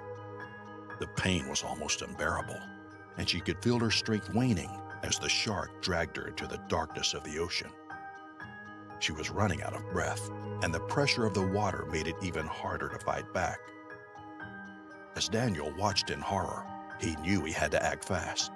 He saw the fear in Julia's eyes and knew that he couldn't let the shark take her away. As he got closer to the shark, Daniel could see its massive jaw clamp down tightly on Julia's leg. He knew that he had to act fast and decisively. Without hesitation, he reached out and grabbed the shark by its gills. The creature thrashed around, trying to shake him off, but Daniel held on tight. He could feel the strength and power of the shark as it fought against him, but he refused to give up. With all the strength he could muster, Daniel pulled on the shark's gills, trying to force it to release Julia. His heart was pounding in his chest as he fought against the massive creature. Finally, after what seemed to be like an eternity, the shark's grip on Julia's leg loosened. In that split second, Daniel grabbed Julia by the arm and started swimming towards the boat. But their ordeal was far from over. As they turned to swim towards the boat, the shark came back for another attack, its fin slicing through the dark waters, a menacing presence drawing closer. Julia and Daniel kicked violently in the direction of the shark, fighting with all their might to keep it at bay and make their way to safety. Despite the searing pain in her leg, Julia refused to let fear overcome her. She was determined to survive and protect herself and Daniel. With adrenaline coursing through their veins, the couple fought back against the shark with everything they had, landing punches and kicks on the creature in a desperate bid for survival.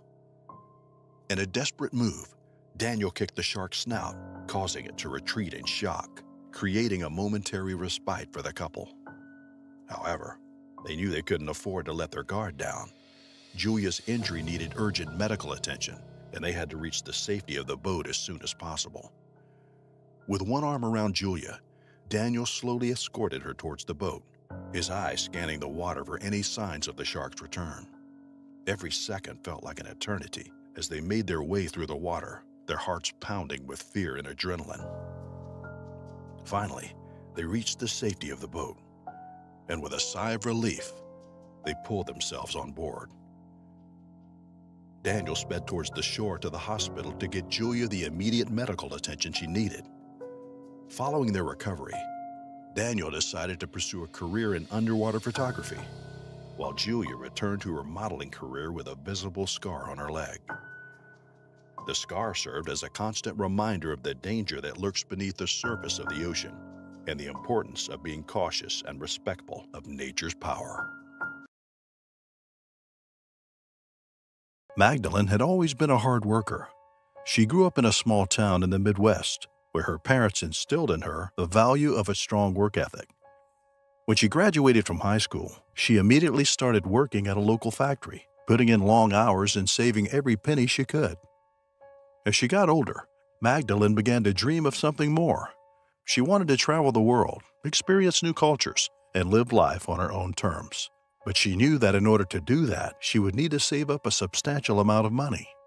So she set her sights on a career in finance, she went back to school at night while working full time during the day and eventually earned a degree in accounting. With her new skills and knowledge, Magdalene landed a job at a large financial firm in the city. For the next 25 years, Magdalene dedicated herself to her job. She worked tirelessly, climbing the corporate ladder and earning promotions along the way. She saved as much money as she could, always keeping her eye on the prize of an early retirement. Despite her success in her career, Magdalene never lost sight of her dreams. She spent every spare moment planning and researching her future travels, making sure that she'd be able to experience everything she had ever wanted to see and do. Finally, at the age of 43, Magdalene decided it was time to retire. She had saved enough money to support herself for the rest of her life, and she was ready to start living her dream. Magdalene sold her house, bought a small RV, and set out on the road. Over the next few years, she traveled all over the United States, visiting national parks, historical landmarks, and small towns. She met new people, tried new foods, and saw things she had never imagined. As she traveled, Magdalene realized that she had made the right decision in retiring early. She was finally able to live the life she had always dreamed of, and she was grateful for every moment. One day, as Magdalene was driving along the coast, she came across a small beach town that caught her eye. It was a picturesque place with quaint little shops and cafes lining the streets and a long sandy beach stretching out in front of her. Magdalene knew she had to stop and explore. She parked the RV in a nearby campground and spent the next few days wandering around the town. She met some friendly locals who showed her their favorite spots, including a hidden cove that was only accessible at low tide. Magdalene spent hours sitting on the beach, watching the waves crash against the shore and feeling the sun on her face. As she walked through the town, Magdalene couldn't help but notice how relaxed everyone seemed. People strolled along the streets, stopping to chat with each other, or sit at outdoor tables and enjoy a coffee or a snack. There was a sense of peace and contentment in the air that was infectious. Magdalene found herself drawn to the idea of settling down in this little town. She had been on the road for years now, and while she loved the freedom and adventure of traveling, she was starting to feel a little bit lonely. She missed having a community of people around her, and she longed for a place to call home. After some thought, Magdalene decided to take the plunge. She found a small cottage for sale on a quiet street just a few blocks from the beach, and she decided to buy it. She spent the next few months fixing it up, adding her own personal touches and making it feel like home. Magdalene spent her days exploring the town and getting to know her neighbors. She went on long walks on the beach and learned how to drive a boat. One evening, Magdalene decided to take her small boat out to sea and spend the night sleeping on the waves. It was a clear night, with a full moon casting a soft glow over the water. She lay down in the boat and listened to the sound of the waves lapping against the side. As she drifted off to sleep to the sound of the gentle lapping of the waves against the hull of the boat, Magdalene was startled awake by a sudden jolt. The boat was rocking violently, and she could hear something thrashing in the water nearby. She sat up and peered over the side of the boat, trying to make out what was happening. That's when she saw it. A massive great white shark, easily 15 feet long, was attacking her boat. It had bitten into the side of the boat and was shaking it back and forth, trying to get Magdalene inside. Magdalene tried to stay calm, but her mind was racing. She had heard stories of sharks attacking boats before, and she didn't know what to do. She grabbed a nearby oar and began hitting the shark with all her might, hoping to scare it away. But the shark seemed undeterred, continuing to bite and shake the boat. Magdalene frantically searched for something else to use as a weapon. She remembered that she had a can of bear spray on board, but she wasn't sure if it would be enough to scare off a 15 foot predator. She quickly grabbed it and aimed it at the shark's face and sprayed, hoping to repel it with a strong scent. To her relief, the spray seemed to do the trick. The shark suddenly released the boat and swam away, disappearing into the darkness. Magdalene sat there for a few minutes, catching her breath and waiting to make sure the shark wasn't coming back. Magdalene breathed a sigh of relief as the shark swam away, but her relief was short lived. Magdalene thought she was safe, but she was wrong.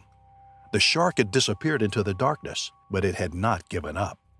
It circled the boat and came back for a second attack. The shark reappeared, its massive jaws closing in on her arm. Magdalene screamed in terror as the shark clamped down on her arm, dragging her into the water. Pain shot through her body as the shark shook her violently, trying to tear her arm off. Magdalene's mind raced with fear and panic as she desperately fought back, hitting the shark with everything she could find. But the shark was too strong and Magdalene's efforts seemed to only anger it more. Just when she thought all hope was lost, Magdalene spotted a nearby boat. With all her strength, she managed to break free from the shark's grip and swim towards the boat, yelling for help. The occupants of the boat quickly sprang into action, pulling Magdalene out of the water and taking her to shore. Her arm was badly injured, and she was rushed to the hospital for emergency treatment. Magdalene spent the next few weeks in the hospital, recovering from her injuries. The attack had left her with deep wounds and extensive nerve damage in her arm, making it difficult to move or even hold things. She was devastated to learn that she might not ever fully regain the use of her arm. Despite the setback, Magdalene refused to give up on her dream of living in the beach town. She worked tirelessly to rehabilitate her arm, undergoing multiple surgeries and months of physical therapy. Slowly but surely, she began to regain some movement in her arm, but it would never be the same. Magdalene's experience with a shark attack had left her with a newfound appreciation for life. She realized that every moment was precious and should be treasured. She decided to use her experience to inspire others, sharing her story and encouraging people to never give up on their dreams, no matter what obstacles they might face. In the end, Magdalene found that her dream of settling down in a small beach town had come true. Despite the hardships and challenges she had faced, she had found a community of people who welcomed her with open arms and helped her through her recovery. She continued to explore the town and surrounding areas, but now with a newfound appreciation for life and a deeper sense of gratitude for every moment.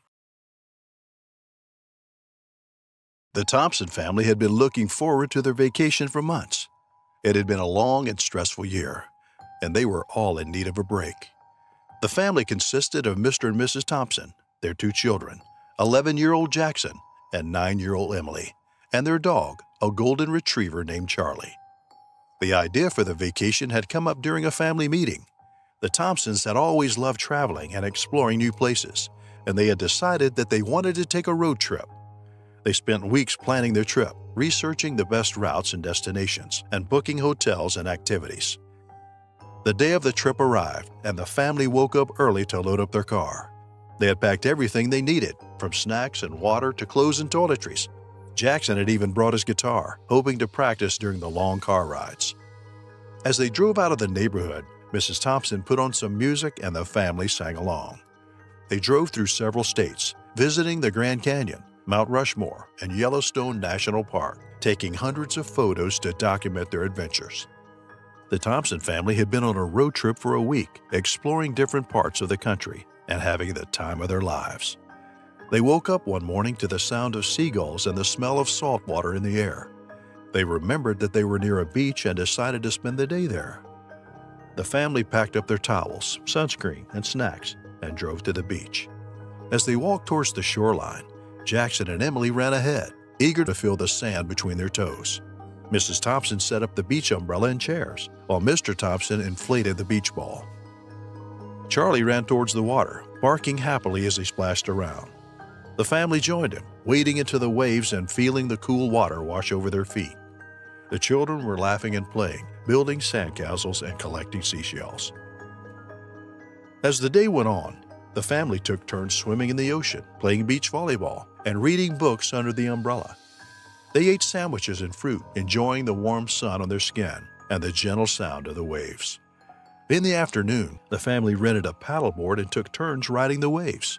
Jackson and Emily were naturals, standing up on the board and paddling away with ease.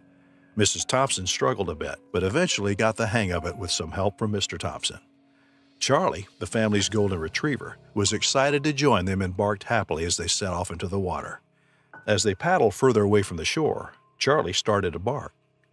At first, the family didn't think much of it, assuming that Charlie was just excited about being on the paddleboard.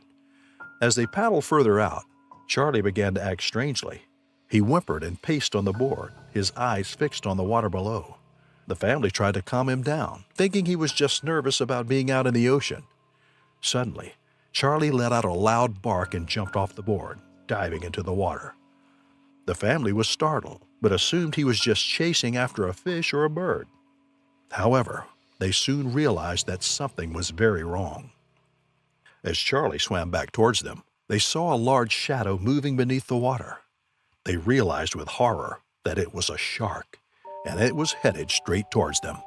The family froze, unsure of what to do. Suddenly, the paddleboard shook, and Mr. Thompson felt a jolt beneath him. He looked down into the water and saw a large fin disappearing beneath the surface. Mrs. Thompson and Emily started to panic, while Jackson tried to keep a level head. Charlie continued to bark, sensing the danger that was lurking below. Mr. Thompson started paddling towards the shore, with Charlie swimming alongside him. But the shark was too fast, and it quickly caught up with them. The family was terrified, but Charlie was brave. He swam between the shark and the family, barking and growling loudly. The shark hesitated for a moment, confused by the dog's aggression. Charlie didn't back down, however. He continued to bark and growl, determined to protect his family. The shark circled around the family, trying to find a way to attack. But Charlie kept swimming back and forth, keeping himself between the shark and the family. The family was able to reach the shore thanks to Charlie's bravery. As they collapsed on the sand, the family looked out at the water, where Charlie was still barking and growling at the shark. The shark finally gave up and swam away, defeated by the dog's fierce protection. The family watched in awe as Charlie returned to them, wagging his tail and seemingly unaware of the danger he had just faced. The family was amazed by Charlie's bravery and loyalty. They knew that he had saved their lives, they hugged him tightly, grateful to have such a wonderful and protective pet. From that day on, the Thompson family made sure to keep a close eye on Charlie whenever they were at the beach. They knew that he would always be there to protect them no matter what. They also made sure to spread the word about Charlie's heroism so that other families could learn from his example and be more vigilant when it came to shark safety. Julia had always been fascinated by sharks. Ever since she was a little girl, she had spent hours watching documentaries about these incredible creatures and reading books about their behavior and habitats. She had always been drawn to the ocean and the mysteries that lay beneath its surface. As she grew older, Julia's passion for sharks only grew stronger. She studied marine biology in college and spent every spare moment diving and exploring the world's oceans. Eventually, she decided to combine her love of sharks with her passion for filmmaking and set out to make a documentary about these misunderstood creatures. Julia spent much researching and preparing for the shoot. She read every book and article she could find about sharks, interviewed experts in the field, and planned out the shots she wanted to capture. She was determined to create a film that would not only educate people about these incredible creatures, but also dispel the myths and stereotypes that often surrounded them. It wasn't easy. Sharks were often portrayed as villains in popular culture, and many people were afraid of them. But Julia was determined to show the world a different side of these creatures, one that was beautiful, awe-inspiring, and deserving of our protection. Julia traveled to different parts of the world to film different species of sharks in their natural habitats. She went cage diving with great whites off the coast of South Africa and followed hammerheads through the crystal clear waters of the Galapagos Islands. Her next plan was to swim with whale sharks in the warm waters of the Gulf of Mexico. On the day of the shoot, Julia and her crew set out with a small boat equipped with all the necessary gear. They headed towards a known shark habitat, eager to begin filming. As they approached the area, Julia could feel her heart pounding with excitement and nervousness. The crew quickly got to work, setting up cameras and preparing the bait to attract the sharks. Julia watched in awe as several of the creatures appeared, circling around the boat. She couldn't believe how beautiful they were with their sleek bodies and piercing eyes. But then, in a split second, everything changed. One of the sharks suddenly lunged towards the boat, and Julia felt a sharp pain in her leg. She looked down to see the shark's teeth buried in her flesh and felt a surge of terror wash over her. She knew that this was the moment she had always feared, the moment when her love for sharks could cost her her life. The crew quickly sprang into action, pulling Julia back onto the boat and rushing her to shore. She was in excruciating pain, but she knew that her survival depended on staying calm and keeping her wits about her. After multiple surgeries and months of physical therapy, Julia eventually made a full recovery. During all this, she realized that she needed to tell a story that would resonate with viewers on an emotional level, and so she decided to include footage from her own attack. At first, Julia was hesitant to show the footage. She didn't want people to see her as a victim, or to focus solely on the sensational aspect of the attack. But she also knew that her experience could help to humanize sharks and to show people that these creatures are not mindless killing machines. With the help of her crew, Julia created a powerful sequence that showed the attack from her perspective. She talked about the fear and the pain that she had experienced, but she also talked about the awe and respect she had for the shark that had bitten her. She explained how the attack had given her a new appreciation of life and had made her even more determined to protect the natural world. When the documentary was released, it was an instant sensation. People were moved by Julia's story and the beauty and complexity of the footage. They were also challenged to think differently about sharks and to consider their role in the ocean ecosystem. The film went on to win numerous awards, and Julia became a leading voice in the movement to protect sharks. She continued to make documentaries and to use her platform to educate people about the incredible world that exists beneath the waves and even though she had been attacked by a shark, she knew that she had never felt more alive or more connected to the natural world.